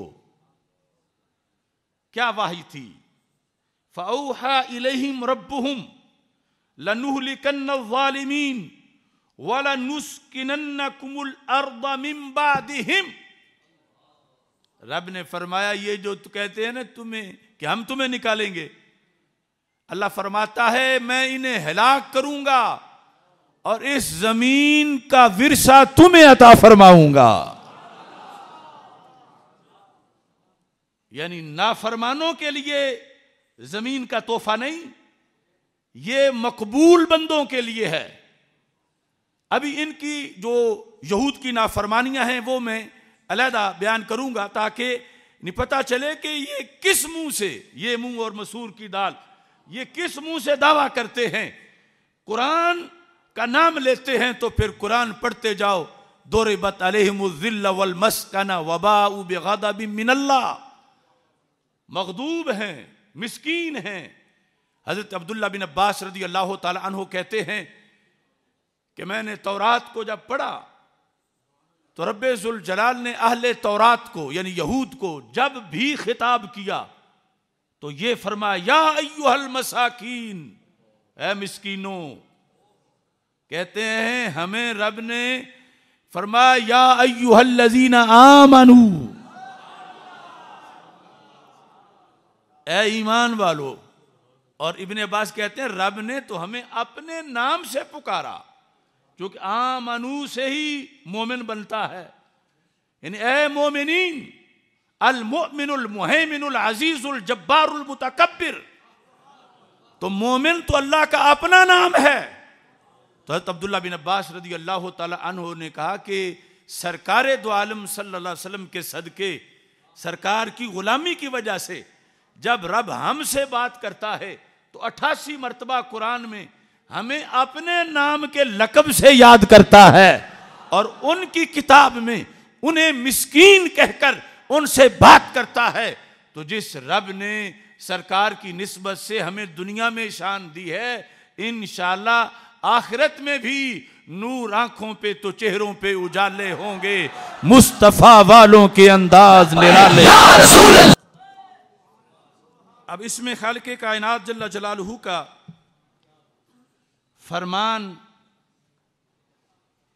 तमकीन के लिहाज से सूरह नूर में। इन सारी आयात को महज किसी ज़यीफ एहतमाल की वजह से कैसे छोड़ा जा सकता है? सूरह नूर, आयत नंबर पचपन।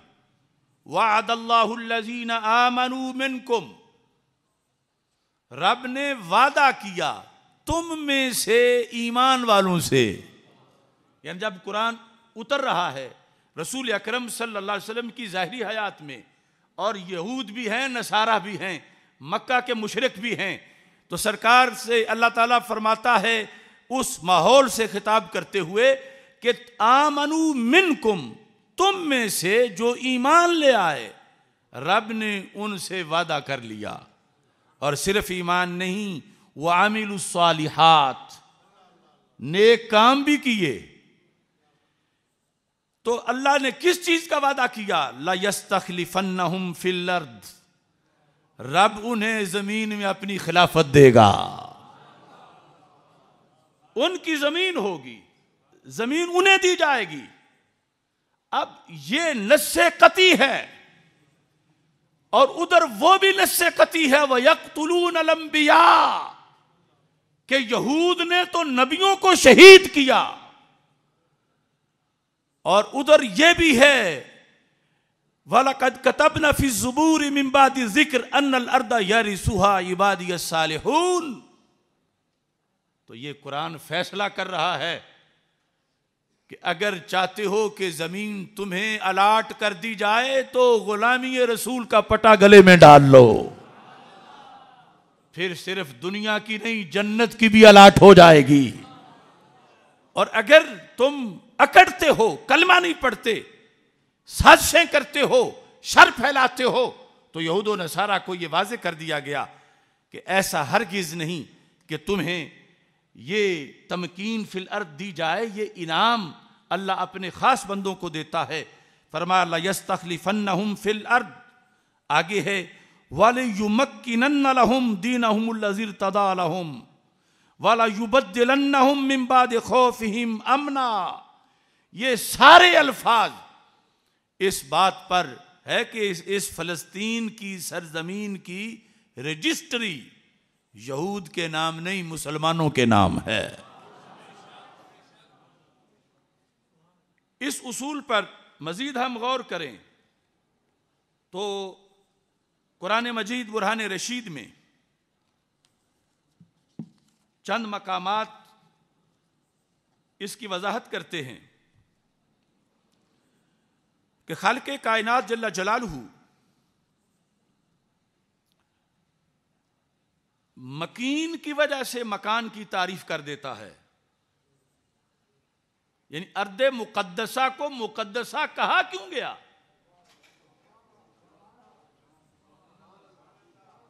कि ये पाकों की जगह है पलीदों की जगह नहीं है। क्योंकि इसी जगह जब अमालिका थे तो अल्लाह ताला ने क्या फरमाया? सऊरी कुमदार अल्फासिकीन हज़रत मूसा सलाम की कौम को हुक्म हुआ, अल्लाह फरमाता, मैं तुम्हें दिखाऊँगा फासिकों की जगह। यानी बैतुल मुकद्दस या ख़ास जो मकामात हैं, वो मुस्तना हैं। यानी फ़लस्तीन का एरिया, जब इसमें रहने वाले फासिक थे, अमालिका तो इसे ही दारुल फासिकीन कहा गया। और जब इसमें रहने के लिए शर्तें देकर बताया गया तो इसे ही अर्द मुकदसा कहा गया कि वो जमाना गुजर गया कि ये दारुल फासिकीन था। अब जब कुरान उतर रहा है तो इस वक्त ये बता दिया गया कि जिनके पाँव रखने से रब ने सारी ज़मीन को पाक कर दिया है, अब ये ज़मीन भी कई वजूह से मुकदसा है तो उनके गुलामों का मस्कन है, या और किसी पलीद के लिए यह सरजमीन नहीं हो सकती। कुरान मजीद, बुरहान रशीद में खाल के कायनात जल्ला जलालहू का फैसला। इस लिहाज से भी बहुत काबिल गौर है कि जलाल ने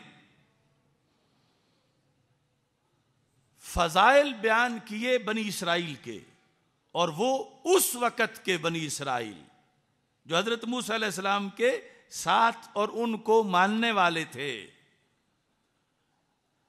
और इसके बाद लईसा ले यहूद, उनमें यहूदी एक भी नहीं था। यानी बनी इसराइल थे, मगर यहूदी नहीं थे। और फिर उनमें से जो बागी बने, जिन्होंने कुफर किया तो कुफर के इर्तिकाब से वो यहूद बने। तो आज जो धांधली है, फिक्री धांधली, उसमें ये बहुत बड़ी धांधली धांधला है। कि ये अपने ऊपर इसराइल का लफज लगाएँ, या अपने ऊपर वो फजाइल जो उस वक़्त के लिहाज से थे मुकैद वो अपने लिए मंसूब करें। क्योंकि जब रसूल पाक सल्लल्लाहु अलैहि वसल्लम तशरीफ़ ले आए, अब जन्नत की टिकट सिर्फ़ यही है कि सरकार का कलमा पढ़ा जाए। अहले किताब पर यह लाजिम था तो इस बुनियाद पर तमीज करनी चाहिए, इसराइल और है और यहूद और हैं। इसराइल और है और मखदूब अलहम और हैं। इसराइल और है और दौरे बत अलहमुल मस्कना ये और हैं। तो आज के लिहाज से, यानी दोनों मकाम के लिहाज से हमें आवाज़ बुलंद करने की ज़रूरत है। ठीक, असल मसला तो सरजमीन का है लेकिन आज ही ये भी समझना चाहिए कि इन्होंने जो अच्छा नाम खींच के अपने लिए इस्तेमाल करना शुरू किया और फिर चलते चलते मुसलमानों के जुबानों पर भी वही रैज हो गया। यानी यहाँ तक के मुल्क के नाम के लिहाज से भी, इसका असल नाम जो उर्दू में यहूदी स्टेट है, अरबी में कयान सहयून है और उन्होंने दावा कर दिया इसराइल होने का। और चलते चलते उम्मत भी उन्हें इसराइली कहने लगी। यानी हम अगर मुर्दाबाद भी कहें तो फिर इसराइल कह के कहें। यानी इस हद तक वो प्रापोगंडा जो है वो असरअंदाज हुआ। तो इससे फिर वो पीछे जाकर अपनी जगह बनाने की कोशिश करते हैं कि अगर हम इसराइल हैं तो फिर बनी इसराइल की बड़ी फजीलतें हैं कुरान में। हम इसराइल हैं तो फिर ये एरिया हमारा है। यानी ये सारी वारदातों का दूसरे तरीके से रास्ता ही बंद हो सकता है कि जब इन्हें सिर्फ़ यहूद के लफज से याद किया जाए और यहूद और कयान साहयून के साथ और यहूदी स्टेट के साथ इनका तस्करा किया जाए तो फिर बहुत से ऐसे प्रॉब्लम हैं कि जो खुद ब खुद साल्व हो जाएँगे और आम मुसलमानों के लिहाज से भी कोई उलझन नहीं होगी। नाम रखते वक्त जब थोड़ी सी भी सुस्ती हो जाए, मसलन यही हमारा जो आज का अहद है, हम आले सुन्नत हैं। एक और टोला भी अपने आप को आले सुन्नत कहता है। तो आप देखो, हमारे होते हुए जिसके पास अहल सुन्नत के डॉक्यूमेंट्स हो ही ना, और वो रजिस्टर्ड अहल सुन्नत हो जाए। और वो मशहूर अहल सुन्नत हो जाए। और नस्लों में आगे नाम ही अहल सुन्नत उन पर ही बोला जाए तो फिर मुस्तकबिल में कितना बड़ा खसारा होगा। क्योंकि पीछे हदीस में अहल सुन्नत की फजीलत तो मिलेगी, और वो फजीलत वहाँ से लेंगे, और आगे गाड़ी के डब्बा अपना लगा देंगे, और ये बताएँगे कि हम तो चौदह सदियों से आ रहे हैं। इस तरह नामों पे वारदात होती है और फिर जब नाम पे कब्जा हो जाए तो फिर आगे उस ज़मीन पे, फजाइल पे और आगे उससे मजीद बहुत सी चीज़ों पे लोग हक जताना शुरू कर देते हैं। इस वास्ते नामों के ज़रिए बहुत ज़्यादा बेदारी की ज़रूरत है और इस मसले पर यहूद के तस्करे में हमें यहूद पर इसराइल का लफज बोले बगैर यानी यहूद के लफज से उनकी ख्यानतें, उनकी शरारतें और उनकी बेअदबियाँ और अल्लाह के ख़िलाफ़ उनके मुगलजात और नबियों के ख़िलाफ़ उनकी बेअदबियाँ और अम्बिया को कत्ल कर देना, इन सारी चीज़ों को उजागर करके ये बताना चाहिए कि असल जद्दी पुश्ती दहशत गर्द ये लोग हैं और ये गासिब हैं और इन्होंने कायनात के सुकून को तहबाला कर रखा है। और ये लोग हैं कि जो दुनिया में जहाँ भी दहशतगर्दी होती है, पीछे यहूद का हाथ ज़रूर होता है। यानी वो अगरचे कारगिल की जंग हो, हमारे एरिए में आकर तो फिर भी भारत के रूप में यहूद आ जाते हैं। वो अरब ममालिक के अंदर इस्लाम दुश्मन कुतें जब भी कोई हमला करती हैं तो फिर वो उस रूप में यहूद मौजूद होते हैं। और आज सूरत हाल ये बन गई कि उनके तराने पड़े जा रहे हैं और लिख की अलाट की जा रही है ज़मीन, उनसे दोस्ती की जा रही है और उनके लिहाज से अपने राज उनके सुपुर्द किए जा रहे हैं। जबकि शरीयत इस्लामी में यह था कि यहूदी अगर मुसलमानों की सल्तनत में रहता है, नसरानी अगर मुसलमानों की सल्तनत में रहता है तो उसके सर के ऊपर मुसलमानों वाली टोपी नहीं होगी, उसका सर नंगा होगा और सर पर कैंची से काट के निशान बनाया जाएगा बालों में, ताकि कहीं भी वो हो। तो शनाख्ती कार्ड चेक करने की ज़रूरत ही ना पड़े, बालों से ही पता चले कि ये दुश्मन है। चलते वक्त सड़क के गली के सेंटर में नहीं चल सकता। कोने पे चले कि पता चले कि ये यहूदी है, ये क्रिश्चियन है।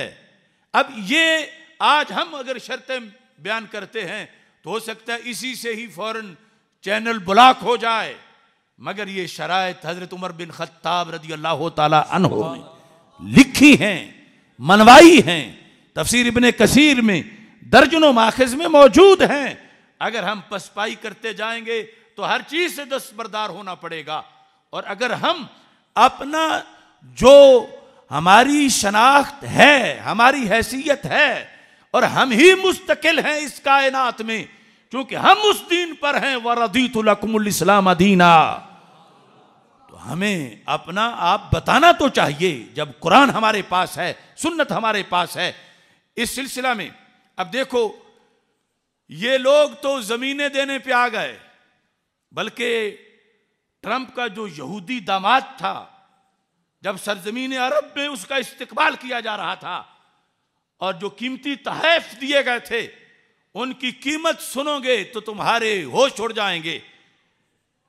कि ये वो सरजमीन है कि मेरे आका सल्लल्लाहु अलैहि वसल्लम ने आखिरी लफज बोलते हुए फरमाया था, आखिर जुल यहूद वन नसारा मिन जजीरा तिल अरब। ये यहूदो नसारा को यहाँ से निकालो। सरकार का फरमान है, ये जुल्म नहीं, ये अदल है रब्बे जुल जलाल का, क्योंकि ज़मीन उसकी है जो मोहम्मद अरबी सल्लल्लाहु अलैहि वसल्लम का कलमा पढ़ने वाला है। आखिर जुल यहूद अवन नसारा मिन जजीरतिल अरब। और यहाँ कुरान मजीद बुरहान रशीद के अंदर छठे पारे में खाल के कायनात जल्ला जलालहू ने बीमार लोगों का तस्करा किया। आज भी वो बीमारी कई लोगों को लगी हुई है। ये गामदी और शिरानी वगैरह उसी बीमारी के मरीज़ हैं। कुरान उतर रहा था।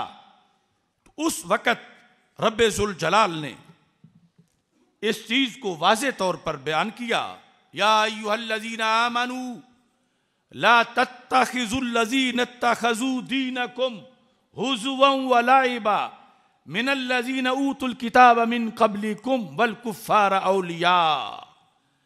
और इसके साथ खाल के कायनात जल्ला जलालहू ने वाज तौर पर यह भी इर्शाद फरमाया, ला तत्ताखिजुल यहूद व नसारा औलिया। यहूदो नसारा को हरगिज तुम दोस्त ना बनाओ। दोस्ती से मना किया गया और दोस्ती के लिहाज से खाल के कायनात जल्ला जलालहू ने बीमार लोगों का तस्करा किया। कैसे? अब मैं बीमार कहूँ तो वो कहेंगे कि ये मुल्ला तंग नज़र हैं। देखो, हमें बीमार कह रहे हैं। कुरान पढ़ो, सूरह मायदा। खाल के कायनात फरमाता है, या यूजीना आमनु, ला तत्ताखिजुल यहूदा वन नसारा औलिया। यहूद नसारा को दोस्त ना बनाओ। बादुहुम औलिया उबाद ये आपस में एक दूसरे के दोस्त हैं। अब जिसने इंसान को पैदा किया, मोहब्बत मरकज मोहब्बत दिल को पैदा किया। वो फरमा रहा है कि कभी भी तुम्हारे दोस्त नहीं हो सकते। और साथ ये खबर दी वमई मिन कुम फाइन मिन होम जो इनसे दोस्ती करेगा, वो उन्हीं का है। अब ये कहते, देखो जी, इन लोगों ने हमें तो दारा इस्लाम से निकाल दिया है। अब जिसको कुरान निकाले, हम उसे कैसे संभालें?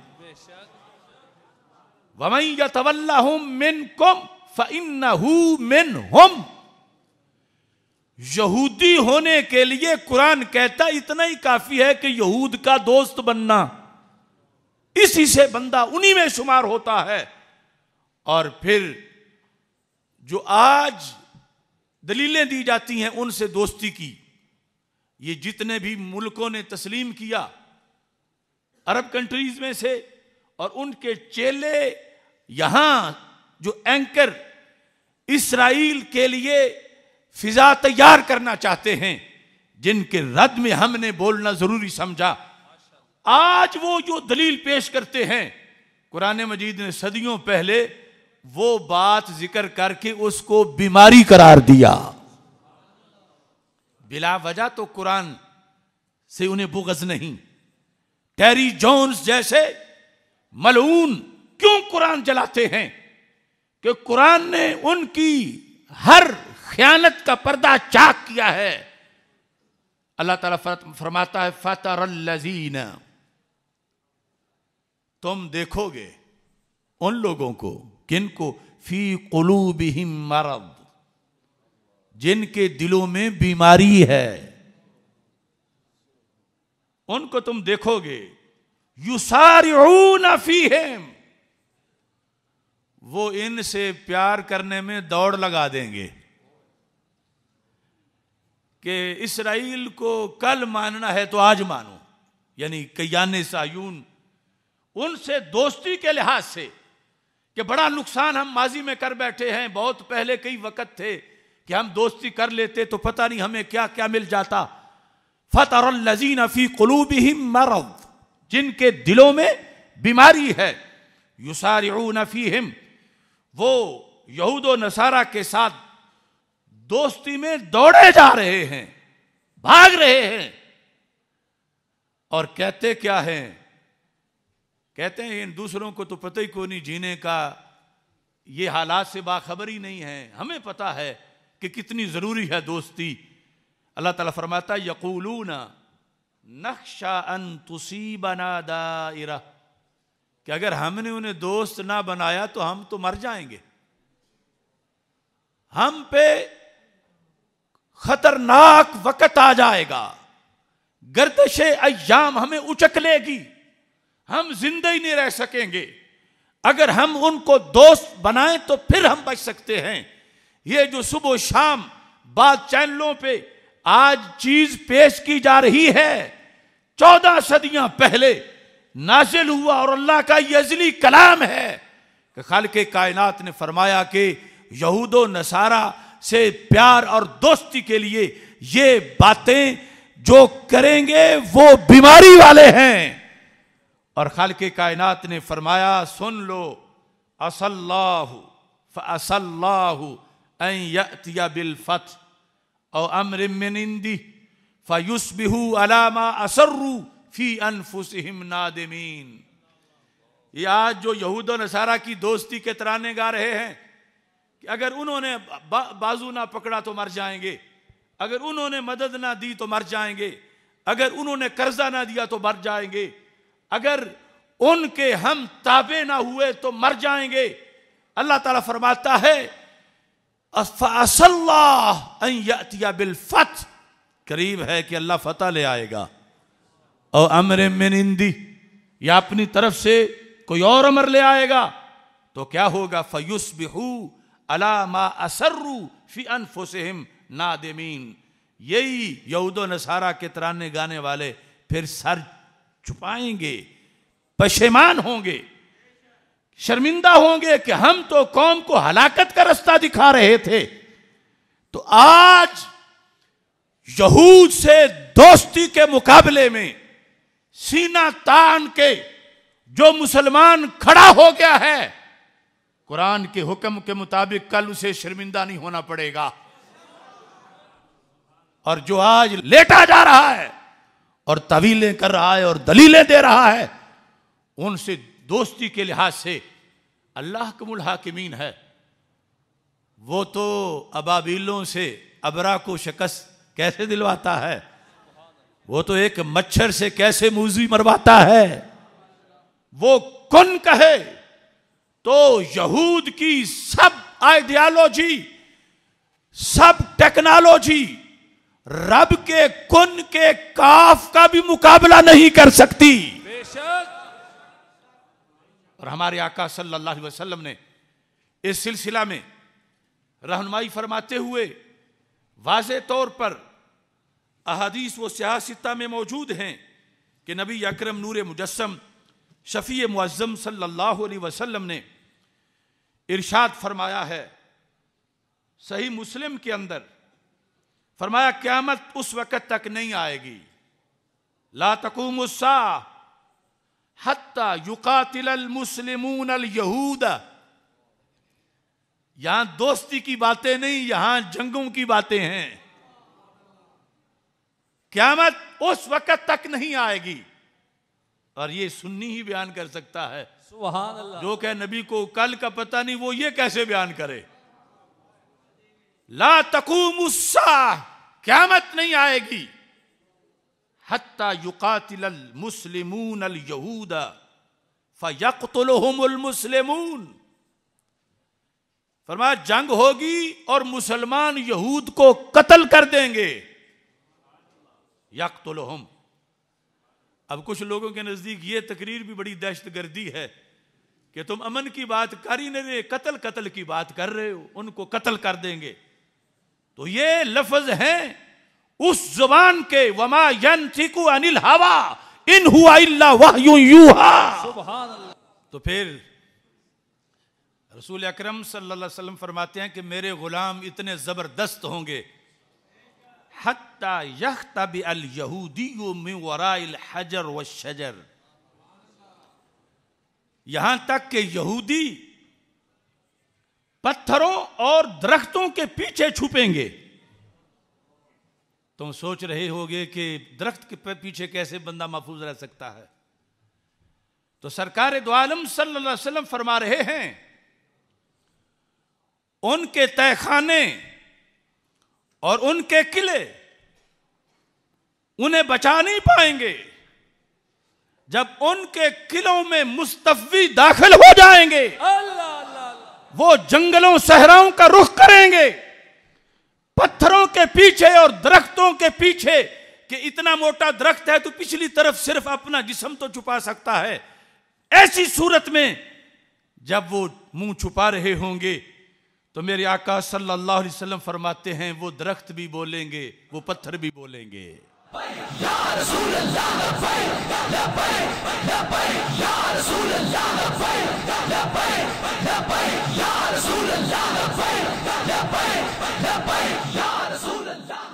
यकूल हजर अभी बोलेंगे? क्या बोलेंगे? या मुस्लिम या अब्दुल्ला हाजा यहूदी खल्फी। ए मुसलमान ए मुसलमान ए अल्लाह के बंदे, ये दोनों लफ्ज दरख्त पत्थर बोलेंगे। या मुस्लिम, या अब्दुल्ला हाजा यहूदी खल्फी, ये यहूदी मेरे पीछे है। ये मेरी वजह से छुपना चाहता है। मेरे ज़रिए ये बच जाए तो बचे कैसे? सिर्फ़ ये नहीं कि ये पीछे आ जरा इसको अपने हथेलियों पे उठा ले, प्यार कर ले इससे। नहीं। फक्तुल हो। ये लफज दरख्त भी बोलेंगे, पत्थर भी बोलेंगे कि ए मोहम्मदी मुस्तफी, ए मुस्लिम, आ, ये मेरे पीछे छुपा हुआ है, इसको कत्ल कर दे। तो ये लोग प्यार की बातें ढूंढ रहे हैं और उनसे मुआनसत, यारियाँ, दोस्तियाँ बना रहे हैं। तो अगर दरख्तों ने तेरी भी शिकायत लगा दी, शीरानी अगर तेरी शिकायत खैबर पख्तूनखा के दरख्तों ने लगा दी और फिर ये मैं पढ़ता हूँ ना जो ये ज़मीन भी सुन्नी है, वो आसमां भी सुन्नी है, जलवाए खुर्शीद सुन्नी, कहकशां भी सुन्नी है, कतराए शबनम भी सुन्नी, बागबां भी सुन्नी है, लफ्ज की तासीर सुन्नी, दास्तां भी सुन्नी है, मायाए मिल्लत भी सुन्नी, निगाबां भी सुन्नी है, आले सुन्नत के जिया लो बाँध लो गर तुम कमर। नज़र आएगा तुम्हें सारा जहाँ ही सुन्नी है। पता चला कि दरख्त का भी अकीदा होता है पत्थर का भी अकीदा होता है। जो काफिरों को मरवाने के लिहाज से पूरे एक फौजी का किरदार अदा कर रहा है यानी जासूस यही काम करता है कि बताता है दुश्मन यहाँ छुपा हुआ है। तो ये एक मुजाहिद का किरदार अदा कर रहा है, पत्थर और दरख्त। और साथ तीसरी हदीस में मट्टी के ढीलों का भी ज़िक्र है। वो हदीस शरीफ मुस्तदरक हाकिम में है। उसमें हत्ता इन शजरा वल हजरा वल मदरा यकूल, या मोमिन, हाजा यहूदी इंदी फक्तुल हो। मदर कहते हैं मट्टी के ढीले को। वो भी बोलेगा तो ये छुपेंगे फिर कहाँ? यानी ये हौसला दिया गया कि इनकी टेक्नोलॉजी का कलमा कभी ना पढ़ना। क्या मत तक इनकी टेक्नोलॉजी पत्थर को नहीं बुला सकती, दरख्त को नहीं बुला सकती, मट्टी में ज़ुबान नहीं डाल सकती। और तुम जिनके गुलाम हो उनकी गुलामी में तो पत्थर दरख्त और मट्टी भी बोलने वाले। और ये लफ्ज मदर का जो है यहाँ वराई नहीं आगे क्योंकि मट्टी के ढीले के पीछे तो छुपे नहीं जा सकता। अब ये गुजरते हुए कहीं भागते हुए कहीं समझता है कि यहाँ कोई भी नहीं है जहाँ ठहरा है। तो यहाँ लफ्ज है हाजा यहूदी इंदी फक्तुल हो कि ये यहूदी मेरे पास है, मुस्लिम शिकार मौजूद है। वो हराम। हलाल नहीं शिकार, यानी खाना जिसका हलाल हो। कत्ल करना जिसका हलाल है। हाजा यहूदी अब पत्थर भी बोलेंगे। तो पत्थर का भी मसलक है। दरख्त का भी मसलक है। ईंट, गारे का भी मसलक है। और वो मसलक अहल सुन्नत है। और यहाँ भी रसूल अकरम सल्लल्लाहु अलैहि वसल्लम ने बद मज़हब का ज़िक्र कर दिया। फरमा गरकद। सारे दरख्त तो बोलेंगे कि यहूदी मेरे पीछे छुपा हुआ गरकद नहीं बोलेगा। क्यों नहीं बोलेगा? फरमा इन मिन शाजर यहूद। गरकद यहूद का दरख्त है। आज यहाँ पर बंदे मिल रहे हैं, सरकार ने दरख्त भी जुदा जुदा रखे हुए हैं। तो इन्नहू मिन शाजर यहूद। यहूद का ये दरख्त है। और इस वक्त इस, यानी वो कयून साहयून जो है कयान साहयून, यहूदी स्टेट में हर तरफ़ वो दरख्त लगवाया जा रहा है। गरकत जिसके बारे में रसूल पाक सल्लल्लाहु अलैहि वसल्लम ने चौदह सदियाँ पहले खबर दी कि ये यहूद का दरख्त है। ये नहीं फरमाया कि ये इसराइल का है, ये यहूद का दरख्त है। और ये नहीं बोलेगा कि मेरे पीछे कोई छुपा हुआ है। और बाकी जो है वो दरख्त बोलेंगे। तो इस बुनियाद पर दरख्तों का भी एक नज़रिया है और उनके भी कारनामे हैं और जिनके लिए इस हद तक अल्लाह की नुसरत और मदद हो। इतने जिनके कारकुन हो, मट्टी का हर ढीला ही जिनका साथी है, हर दरख्त, हर पत्थर तो उनको क्या खतरा है? यहूद पलीद की टेक्नोलॉजी का। इकबाल कहते हैं, फजाए बदर पैदा कर, फरिश्ते तेरी नुसरत को उतर सकते हैं, गर्दों से कितार अंदर कितार अब भी। वो पत्थर तब बोले जब तू साथ दे अपने दीन का। और अगर तू ही फरार हो जाए तो भागे हुए को पत्थर क्या बताए? तू डट जा, कायम अपनी जगह पे। और इस यकीन के साथ निकल के सहरा से जिसने रूमा की सल्तनत को उलट दिया था, सुना है कुदसियों से मैंने वो शेर फिर होशियार होगा। नबी अकरम नूर मुजस्म शफी मुआजम सल्लल्लाहु अलैहि वसल्लम ने यह भी इरशाद फरमाया, तबरानी और मुसंद बाज़ार में वो हदीस मौजूद है हमारे आका सल्लल्लाहु अलैहि वसल्लम फरमाते हैं लातुकातिल मुशरकिन हत्ता युकातिला बकिया तो कुमुर दज्जाल अला नहर उर्दन अंतुम शरकिया वहम गरबिया। लोग कहते उन्हें कल का पता नहीं और दीवार के पीछे की खबर नहीं। तो मेरे आका सल्लल्लाहु अलैहि वसल्लम ने तो आखिरी जंग का महल्ले वकू भी बताया कि मेरे गुलाम किस तरफ़ होंगे और दज्जाली यहूदी किस तरफ़ होंगे। तुम मुशरकिन के साथ ज़रूर भी ज़रूर जिहाद करोगे। ए मेरे गुलामों, मेरी उम्मत, यहाँ तक के जो तुम में शहीद होने से बच जाएँगे, वो क्या करेंगे? हत्ता युकातिला बकिया तो कुमुद्दजाल तुम्हारे बचे हुए दज्जाल से लड़ाई करेंगे। कहाँ ये लड़ाई होगी? अला नहर उर्दन। उर्दन की नहर पर। उर्दन जिसको अब जार्डन कहा जाता है, उर्दन की सरहद यहूदी स्टेट के साथ है। वो जो कब्जा ग्रुप की स्टेट बनाई हुई है, नबी अकरम सल्लल्लाहु अलैहि वसल्लम ने नहर उर्दन का ज़िक्र किया। आज भी वो जोग्राफिया में उसी तरह मौजूद है। उसका जो मगरबी हिस्सा है, उस पे यहूद ने कब्जा किया हुआ है। तो मेरे आका सल्लल्लाहु अलैहि वसल्लम ने फरमाया अन तुम शरकिया। तुम मशरकी तरफ़ होगे, वह मगरबिया और दज्जाल के साथी मगरबी तरफ़ होंगे।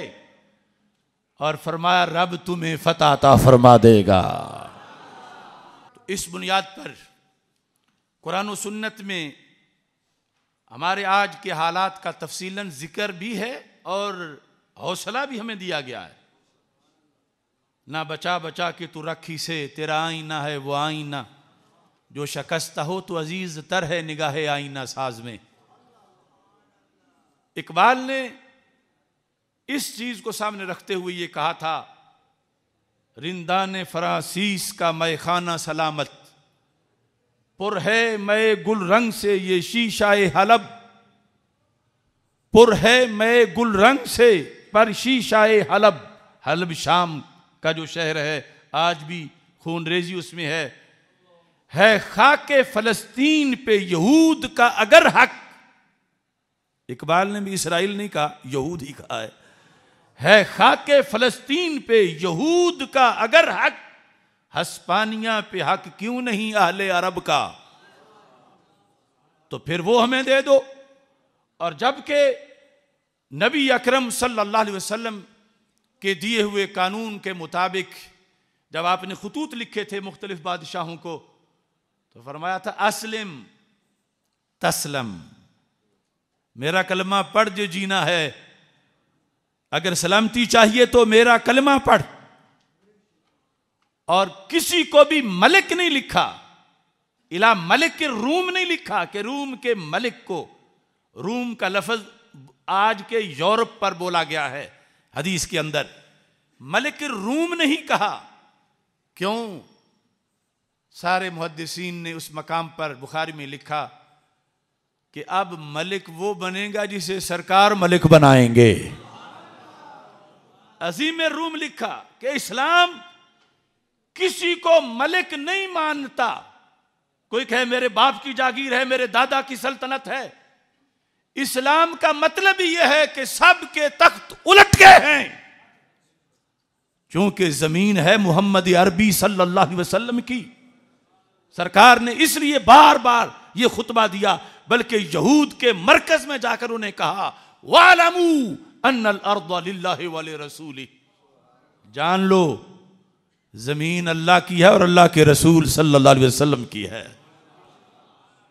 देखो ना, ज़मीन से इस्लाम दस्त बरदार नहीं होता। ज़मीन तमकीन फिल अर्द के लिए ज़रूरी है। इसलिए बर सगीर के मुसलमानों ने ज़मीन हासिल की दीन के लिए।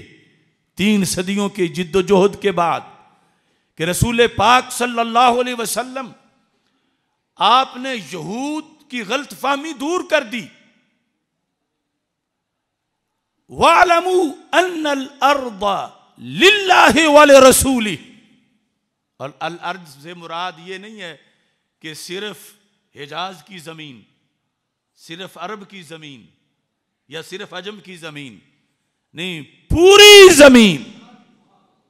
मशरक से मगरब तक, शिमाल से जुनूब तक, जहाँ व्हाइट हाउस और पेंटागान है, वो ज़मीन भी उनकी नहीं, वो मुस्तफी गुलामों की ज़मीन है। वालमू अन्नल अरबा लिल्लाहि वाले रसूली। देखो, लोग अपने बाप दादा का कब्जा छुड़ा लेते हैं तो क्या गुलाम अपने नबी की दी हुई ज़मीन नहीं लेंगे वालमू, ये दुनियादारी नहीं, ये नबूवत है, क्योंकि ज़मीन है, खुदा का दीन नाफिज किया जाए वहाँ पर। वालमू अन्नल अर्दा। मस्जिद की चार कनाले नहीं, मदरसा के पाँच एकड़ नहीं, सारी ज़मीन सारी ज़मीन। ये इस्लाम है।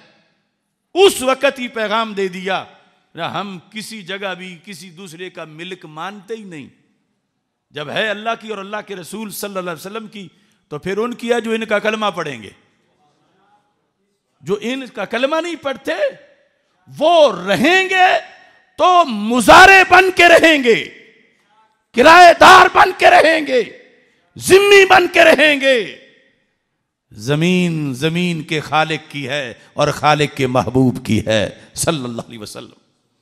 और यहाँ यह नुकता भी सिर्फ़ फ़िक्र रिजा पर ही हल किया जा सकता है।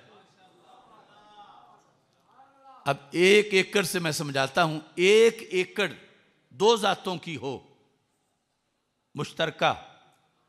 तो उसकी कई सूरतें हैं, चार कनाल एक की, चार दूसरे की, छह कनाल एक की, दो दूसरे की, सात कनाल एक की, एक दूसरे की। या चलो दस मरले ही सही।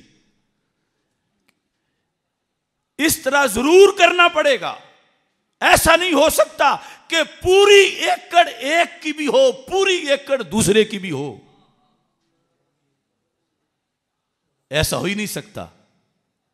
जब मुश्तरका है तो उसमें उनके मिल्क का कोई ना कोई तनासब है।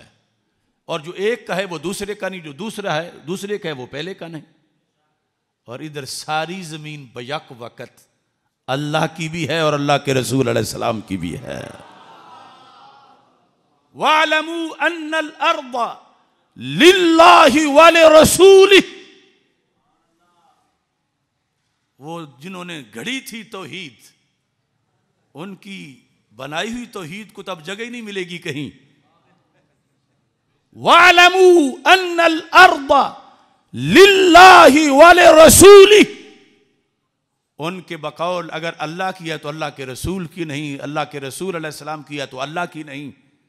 और फिर हदीस सही तब हो सकती है कि जब दोनों की माने और बयक वक़्त माने और पूरी की पूरी माने तो तब भी माने, जब सुन्नी माने कि महबूब मुहिब में नहीं मेरा तेरा। यही एक कानून है। इसके सिवा दो जातों की कैसे हो सकती है? तो वालमू अन्नल अर्द वाले रसूली नबी अकरम नूर मुजस्सम शफ़ी मुज़म सल्लल्लाहु अलैहि वसल्लम ने ये कानून दिया, मलिक नहीं कहा किसी को कि पहले मलिक मानूं और फिर कहूँ कि ये तुम्हारी नहीं, मलिक का तो मतलब वो जिसका पूरे मुल्क पे कंट्रोल है, मालिक मिल्क और मुल्क में फिर आगे बरीक फ़र्क भी है तो मलिक में तो मुल्क माना जाएगा। पर पहले ही इस्लाम किसी दूसरे का ज़मीन पे कंट्रोल नहीं मानता कि उससे लेने को यह नहीं कहा जाएगा कि छीन रहा है। वो है कब्जा ग्रुप और ये उम्मत कब्जा वापस लेगी। क्योंकि अल्लाह और अल्लाह के रसूल सल्लल्लाहु अलैहि वसल्लम की ज़मीन है और जो इनका कलमा पड़ता है, इनको मानता है वो न्याबतन उसको खिलाफत मिलती है और वो उस ज़मीन पर राज करता है। अब यहाँ पहले मौजू का ये खुलासा ज़िक्र हुआ। इसके साथ फ्रांस का जो मसला है उसमें मैंने अपने रिहाई के बाद वाले प्रोग्राम में भी कहा था, मैंने जो फतवा जेल में लिखा, उसमें भी लिखा था कि अगरचे हमारी हुकूमत से तो अब तक सफ़ीर भी नहीं निकला। और सरकारी तौर पर उनकी मसनूआत से बाइकाट भी नहीं हुआ। जबकि शरी तौर पर इतनी बड़ी तोहीन पर इतनी कार्रवाई किफ़ैत ही नहीं करती। क्योंकि शरीयत मुतहरा के मुताबिक उस हकूमत से यह मुतालबा किया जाएगा कि वो उस गुस्ताख को मुस्लिम उम्मत के सुपुर्द करे। और उम्मत मुस्लिमा अपने कानून के मुताबिक उसका सर कलम करे। और अगर वो हकूमत अड़ जाती है तो फिर सिर्फ़ एक बंदा मुजरिम नहीं मिन हैसुल कौम, फिर उनके खिलाफ जिहाद ज़रूरी होगा। अब देखो, मैं ये एक हवाला पेश करके बात को समेटता हूँ।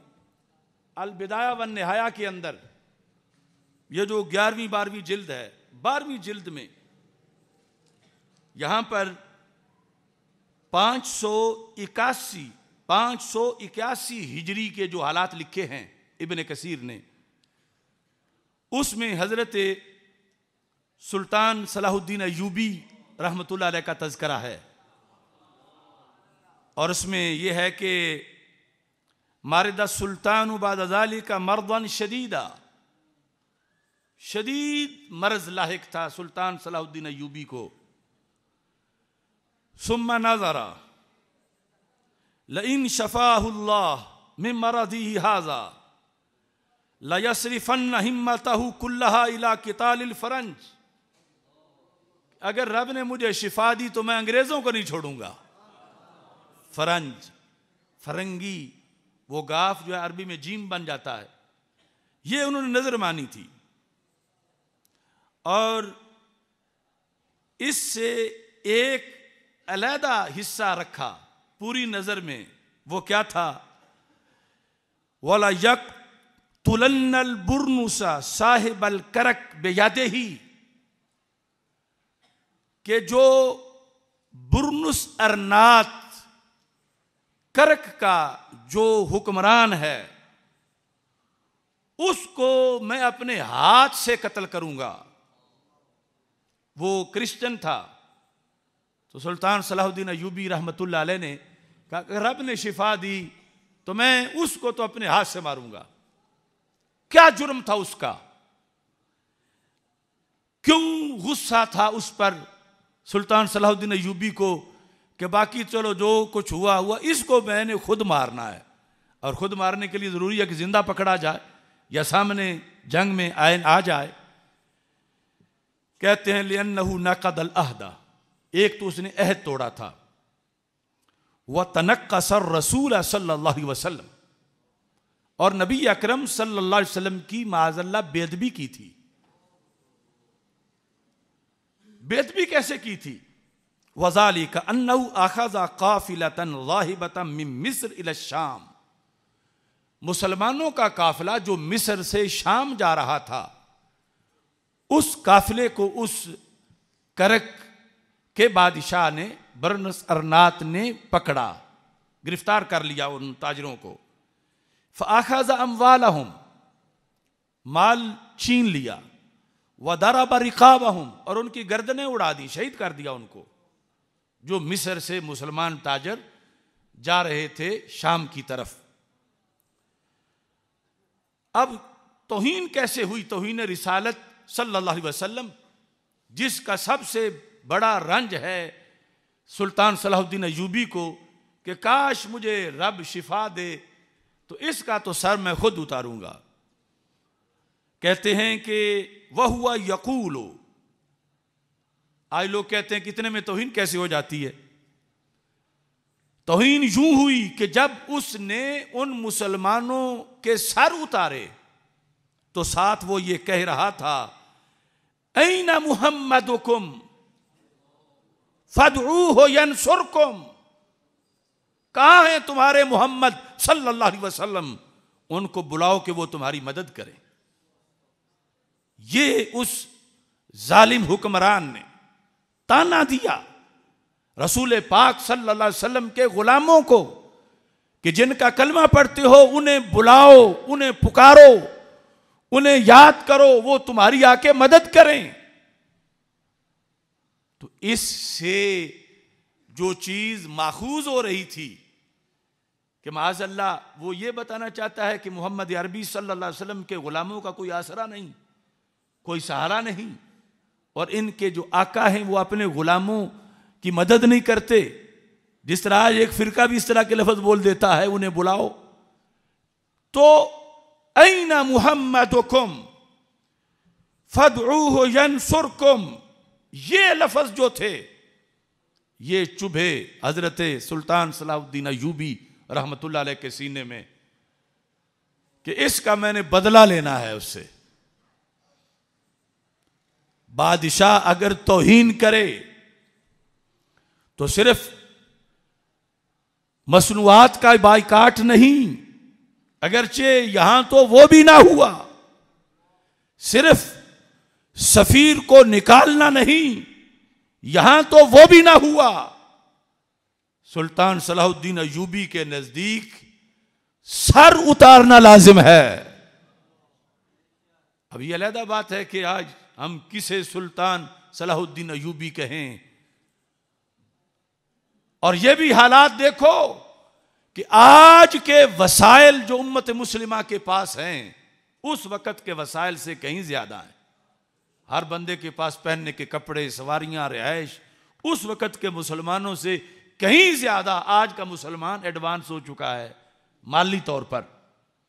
तो हज़रत सुल्तान सलाहुद्दीन अयूबी रहमत के बारे में ये लिखा है कि अल्लाह ने उन्हें शिफा दे दी। व आफा हो मिनजाल मरद अल्लाजी का नफ़ी है अल्लाह ने आफियत दी। जब वो दुरुस्त हुए, ये सफ़ा नंबर 845 पर मर्ज के आगाज़ और इस नज़र का ज़िक्र है और फिर आठ सौ इक्यावन पर यह लिखा है कि जब जंग हुई और कहा कि उसे ज़िंदा पकड़ना है। अब बाकी इलाकों के ये जो इलाका था, बैतुल मुकद्दस से मुंसलिक इलाका था, जहाँ वो साहिब कर्क बुरनस अरनात ने यह कहा था अना मोहम्मद हुकुम सल्लल्लाहु अलैहि वसल्लम।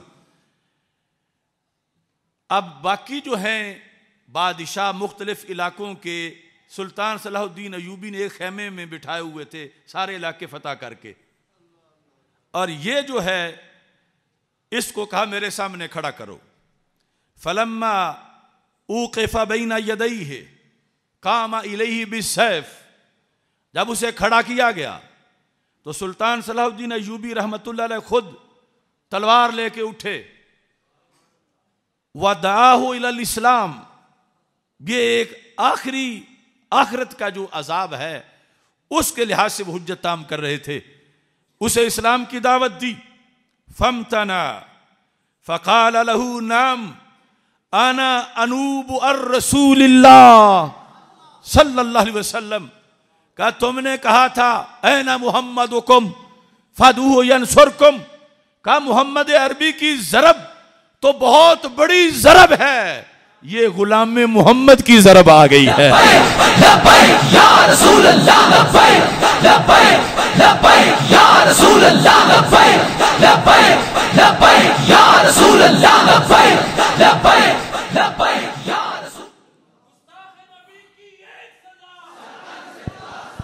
गुस्ताख नबी की एक सजा। गुस्ताख नबी की एक सजा। नाम आना। अनूब अर रसूल वसल्लम फिल इंतिसार। ले उम्मत ही कहा, मैं हूँ नायब रसूल सल्लल्लाहु अलैहि वसल्लम। अनूब अर सल्लल्लाहु अलैहि वसल्लम फिल इंतिसार उम्मत ही कि सरकार सल्लल्लाहु अलैहि वसल्लम के गुलामों का बदला लेने के लिए सरकार ने मुझे भेज दिया है। मैं आपकी तरफ़ से न्याबतन आ गया हूँ। यह हमने उस वक्त भी पेश किया था, जब लोगों को मुमताज़ हुसैन कादरी के बारे में तशवीश थी कि दहशत गर्द कहें या गाजी कहें तो मैंने कहा, ऐसे मौके पे जो सामने आए, वो नियाबत में आता है।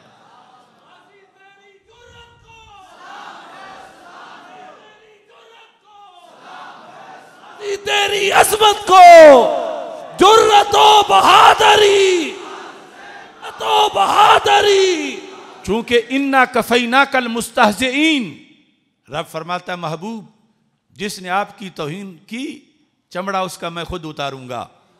बदला खुद लूँगा मैं काफ़ी हूँ। और आगे ड्यूटी महबूब के गुलामों की लगा देता है। तो इस सिलसिला में चुनाव दरबार रिसालत सल्लल्लाहु अलैहि वसल्लम से होता है। तो अयूबी कहने लगे, मैं आ गया हूँ। और साथ ही तलवार चला दी, काताला हूँ। वह अरसला बेरा से ही इलल मुलूक। सिर्फ़ सर नहीं उतारा, सर उतार के बादशाहों की तरफ़ भेजा। वह हम फिल खैमा। यानी जिन इलाकों के बादशाह बंद किए हुए थे खैमे में, इलाके फतह करके तो वो बादशाह जो है, उनके सामने इस बादशाह का सर उतार के भेजा और साथ ये उन्हें पैगाम दिया इन नहाजा तर्रदा ले सब रसूल सल्लल्लाहु अलैहि वसल्लम, इसने मेरे नबी सलाम को गाली दी थी मैं जो गाली दे मेरे महबूब को उसका फैसला यूँ ही करता हूँ।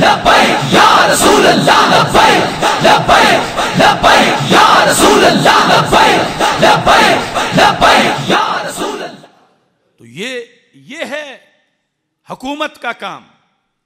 एहतजाज हमारा काम है। आवाज़ बुलंद करना हमारा काम है। कुरान सुन्नत से बयान करना हमारा काम है। बादशाह का काम सिर्फ़ ये नहीं कि एक आध बयान दे दे, उसका काम ये है, जब वो दावेदार भी हो रियासत मदीना का तो फिर क्या पैरोकार बने सलाहुद्दीन अयूबी का। तो सलाहुद्दीन अयूबी रहमहुल्लाह ताला ने कहा कि ये नहीं है कि सिर्फ़, हालाँकि सल्तनत तो वैसे ही हासिल कर ली थी कहा जाता कि सिर्फ़ बाइकाट क्या करना है सारी हुकूमत ही जो ले ली है उनसे। फिर भी उसे कत्ल करना ज़रूरी समझा। तो इस बुनियाद पर शरी नुकता नज़र से हुकूमत इस बात की तरफ़ गौर करे, तवज्जो करे कि सिर्फ़ बाइकाट या सफीर निकालना ही काफ़ी नहीं, अगरचे वो भी ज़रूर निकाले। लेकिन आगे ये है कि जिसकी वजह से इनके कंधों से बोझ उतर सकता है, वरना माशर का पेपर हल नहीं होगा कि तुम्हारे पास कुत थी इकतदार थी, इख्तियार था। तुमने एहतजाज करने वालों पर भी लाठियाँ बरसाई, तुमने उन्हें बंद किया और खुद कुछ भी ना किया। ये क्यामत के दिन का मुआवजा इनसे होगा। लिहाजा हम उन्हें इस शरी फतवा की तरफ़ मुतवजह कर रहे हैं। इसके साथ यूके के अंदर एक फ़िल्म तैयार की गई, जिसका नाम अरबी में सैदतुल जन्ना, उर्दू में खातून जन्नत, और इंग्लिश में द लेडी ऑफ़ हेवन रखा गया। नाम तो कितना खूबसूरत है। सैदा तय्यबा ताहिरा फातमत जहरा रदी अल्लाह तहा के मौजू पर वो फ़िल्म बनाई गई। वो फ़िल्म बयक वक़्त कुरान की सदाकत पे भी हमला है। रसूल पाक सल्लल्लाहु अलैहि वसल्लम की अजमत पे भी हमला है। इस्लाम की हक्कानियत पे भी हमला है। असहाब रसूल सलाम की नामूस पे भी हमला है। खुद तोहीन रिसालत भी है और तोहीन सैदा फातमा तो जहरा रदी अल्लाह तहा भी है और हर दर्जे की है। और फिर उम्मातुलमोमिन बिलखसूस सैद आयशा सिद्दीका रदी अल्लाह तहा उनके लिहाज से बहुत ही गलत मवाद उसमें शामिल किया गया है। किसने तैयार की? ज़ाहिर है कि इसका मकसद वेस्ट की तरफ़ से मुस्लिम ममालिक के अंदर फसाद फैलाना है, क्योंकि वो जब एक भी क्लिप उसका चला तो वो आग है। इसको अब एक फिरका के लोगों ने वो पूरा मवाद फराहम किया। हमारे पास सबूत है कि उस फिरका के कितने बड़े बड़े लीडर उस फ़िल्म के फजाइल बयान कर रहे हैं और उसे मोहब्बत फातिमा रदी अल्लाह तहा करार दे रहे हैं। और उस फ़िल्म को जो चलाएगा, जो देखेगा, जो फैलाएगा, उसके बारे में वो कह रहे हैं कि सईदा फातिमा रदी अल्लाह तहा उसकी हाजतें पूरी कर देंगी। ये फ़िल्म पूरा उसका जो मवाद है, यानी झूठ सारे जिसने इकट्ठे किए, वो यासिरुल हबीब नामी। उसको जाकिर कहो या कुछ और कहो, उसका सब ये इकट्ठा किया हुआ है। अब हमारे यहाँ कह रहे कि हम भी इस मुल्क में अमन चाहते हैं, और हम ही अमन चाहते हैं क्योंकि बाकी तो किराएदार हैं। बीस लाख शहादतें तो हमारी हैं, तीन सदियों के अंदर, और फिर यह मुल्क बना है। और माजी करीब में जो दो फिरकों की जंग थी, उस जंग से पाकिस्तान की चूलें हला दी गई हैं। और फिर सिक्योरिटी फोर्सेस ने अपनी जानें कुर्बान करके उस आग को बुझाने का किरदार अदा किया है। और अब वो इतनी बड़ी आग फिर भड़काने की तैयारियाँ कर ली गई हैं। वही फिरका जिनका वो एक मुबैना सरकर्दा लीडर है जिसने ये सब कुछ किया। आज वो पाकिस्तान में बड़ी सफाइयाँ दे रहे हैं कि ये सब कुछ मगरब ने किया है, ये सब कुछ वेस्ट ने किया है, ये वही जो गुस्ताखाना खाके बनाने वाले हैं ये उन्हीं का सब कुछ है। इसमें कोई शक नहीं कि साजिश उन्हीं की है। मगर इस साजिश का अलाकार कौन बना है? किस फिरके के लोग हैं? वो एलानिया तौर पर कई सालों से उस फिरके का मुनाजिर बना हुआ है। एलानिया तौर पर वो कौन लोग थे जिन्होंने यूके में, बरतानिया में बड़े बड़े बैनर और पोस्टर जिन पर इस्लाम की दो बड़ी हस्तियों का नाम लिखा है, जिन पर सारे दीन का मदार है रसूल पाक सल्लल्लाहु अलैहि वसल्लम के बाद, उनके नाम के साथ टेररिस्ट लिख के किस तबके के लोगों ने एहतजाज किया वहाँ पर? वो तस्वीरें सामने हैं। वो एहतजाज करने वाले क्या यहूदी हैं, क्रिश्चियन हैं, हिंदू हैं, सिख हैं? मजूसी हैं, पारसी हैं। नहीं, वो इसी फिरके के हैं जो आज सफाइयाँ दे रहे हैं कि ये सब कुछ जो है वो मगरब कर रहा है। ईरान ने भी तरदीद कर दी है, फुला ने भी कर दी है, फुला ने भी कर दी है। तो वो इतने हिमायत में बोलने वाले, वो किस ज़मीन में उगले हैं? वो किस आसमां से उतरे हैं? वो किस फिरके के पड़े हुए लोग हैं? उस फ़िल्म के अंदर हवाला जात झूठे किस फिरके की किताबों से लेकर दिए गए हैं? इसका जवाब कौन देगा? आग लगाने वाले कौन हैं? और मैं अब आपकी तवज्जो कराना चाहता हूँ, वो जो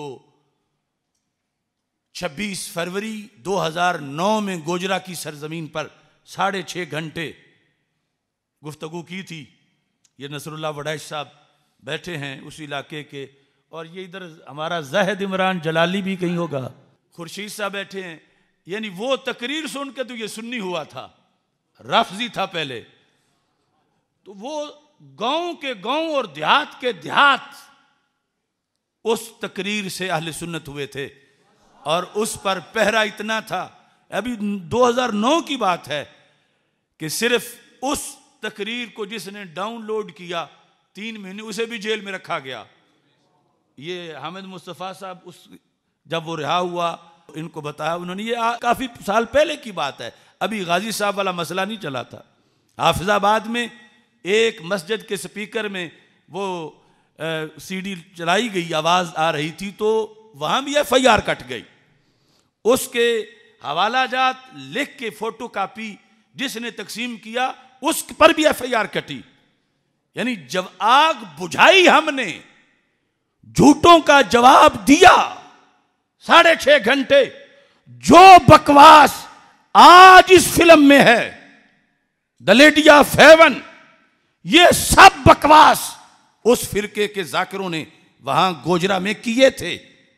आ ये कैसे कहते हैं कि हमारा इसमें कोई हिस्सा नहीं इनकी मजालिस के अंदर वो सारे बकवास किए जाते हैं कि फुला ने दरवाजे को आग लगा दी, सईदा पाक के दरवाजे को फुला ने धक्का दिया फुला ने ये किया, वो किया। अगर उनके चंद वडेरे सफ़ाई देना चाहते हैं तो फिर जिनका ये जुर्म है पाकिस्तान में, उनको पेश करें सबको। इनकी बातों पर आज यूके में फ़िल्म बन गई। ये जो देहातों के अंदर हर जगह आग लगाते फिर रहे हैं। आज ये चंद उनके गुरु ये कहकर कि हम तो सारे खुलफा का अदब करते हैं, हम तो असहाब का अदब करते हैं, हम तो असवाज मुतहरात का अदब करते हैं। ये सिर्फ़ मुँह से बोलने से बात नहीं बनेगी। जो आग तुम लगा चुके हो इस मुल्क में, जो उसके जिम्मेदार हैं, उनको पेश करो और फिर हाजी सनाउल्ला बनो कि हमारा तो इसमें कोई जुर्म नहीं है। और अगर हर हर देहात के अंदर तुमने ये तंग कर रखा है मुसलमानों को सुबह शाम, सब वो शतम करते हुए और तुम शेखैन के बारे में ये कह रहे हो कि ये जुल्म हुआ, वो जुल्म हुआ, ये सब कुछ जो तुम्हारे जाकिरों की तकरीरें हैं यही उस फ़िल्म में है। अगर वो फ़िल्म जुल्म है, अगर वो फ़िल्म कुफर है, अगर वो फ़िल्म इस्लाम पर हमला है तो उसका मजमून जो लोग कई सालों से बयान कर रहे हैं, उनके बारे में फिर क्या कहा जाएगा? और जिसने लिख के दिया है, यासिरुल हबीब, वो मामूली, इनका बंदा नहीं। कोयत में वो रहता था और उसने, यानी नमाज़ के अंदर तक की उसकी वो वीडियोस मौजूद हैं कि नमाज़ के अंदर वो सैदना सिद्दीक अकबर और सैदना फारूक आज़म रदी अल्लाह तुमा को गालियाँ देता है। अपनी नमाज़ उसने रिकॉर्ड कराई हुई है। गुस्ताखान सिहाबा पर सिहाबा किराम के गुस्ताखों पर। और इसमें ये बात ये बात सुनो। यानी जो तोहीन सईदा पाक की है कौन हो सकती है कायनात की खातून? कि जो सईदा पाक रदी अल्लाह ताला अनहा की तरफ़ झूठे लफ्ज मंसूब करके और अपनी आवाज़ को आवाज़ फातिमा बनाए। कौन हो सकता है कि फ़िल्म में जिसको रसूल अक्रम वसल्लम की जात करार दिया गया है, रुख मुस्तफ़ा है वो आईना कि अब उसका कोई आईना ना दुकानें आई, ना साज में, ना मेरी बज़म ख्याल में।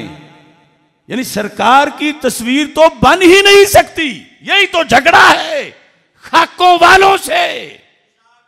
अगर खामोश लाइनें मनसूब की जाएँ सरकार दो आलम सल्लल्लाहु अलैहि वसल्लम की तरफ़, जो खुद नहीं बोल रही, खाका है, तस्वीर है, ज़ुबान नहीं। और अगर एक इंसान जो नज़र आ रहा है जो बोल रहा है और अपने आप को मोहम्मद अरबी शो कर रहा है। बेवजह तो नहीं चमन की तबाहियाँ, कुछ बाग बाहें बरको शरर से मिले हुए। ये है उस फ़िल्म के अंदर। अभी पता नहीं और क्या कुछ है। ये जितना मालूम हो सका, दलील की रोशनी में मालूम करके मैं ये बात कर रहा हूँ।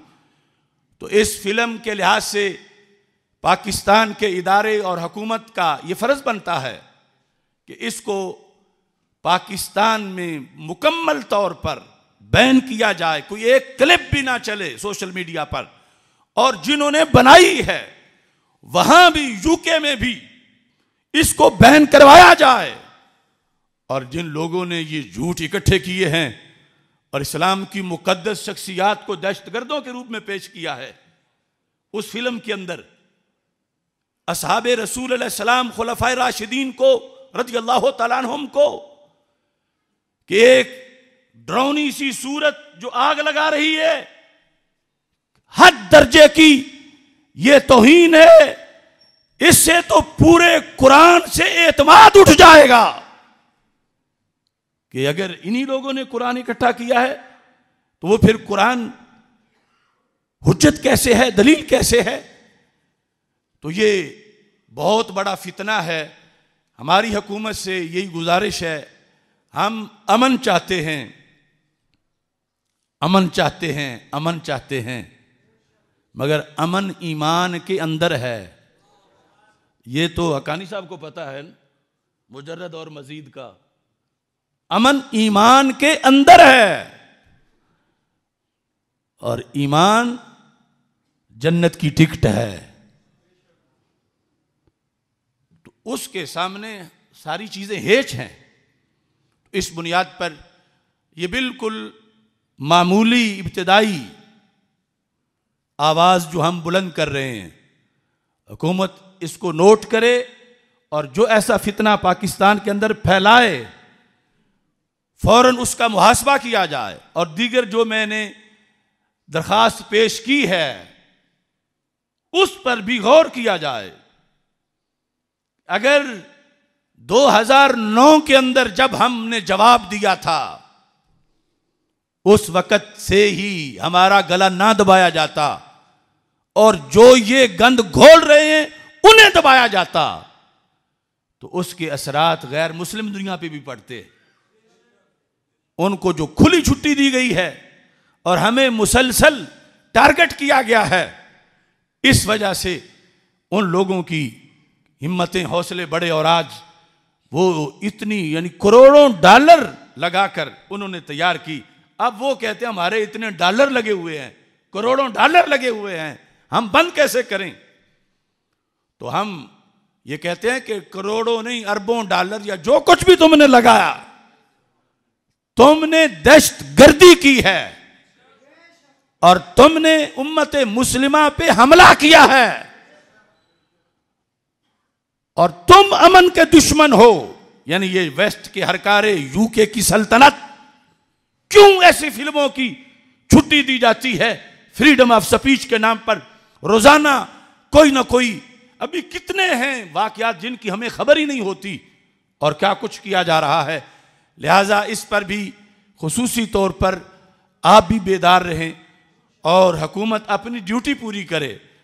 हमें जब कहते हैं कि तुम्हारा काम मस्जिद में है, मदारस में है, हमने तो इलेक्शन में कहा था कि हमारा काम ईवान में भी है कि कुरान हमें आता है, तुम्हें नहीं आता। और कुरान आता हो तो मुसलमानों की रहनुमाई की जा सकती है। तो बहरहाल तुम धक्को धक्की दाखिल हो गए हो। तो अब ये ड्यूटी है, इसको निभाओ। और उम्मत मुस्लिमा के जख्मों पे मरहम रखो। अल्लाह ताला हम सब का हामी नासिर हो। जलाल गाजी मुमताज़, हुसैन कादरी, शहीद के मरकद पुरनूर पर करोड़ों रहमत नाजिल फरमा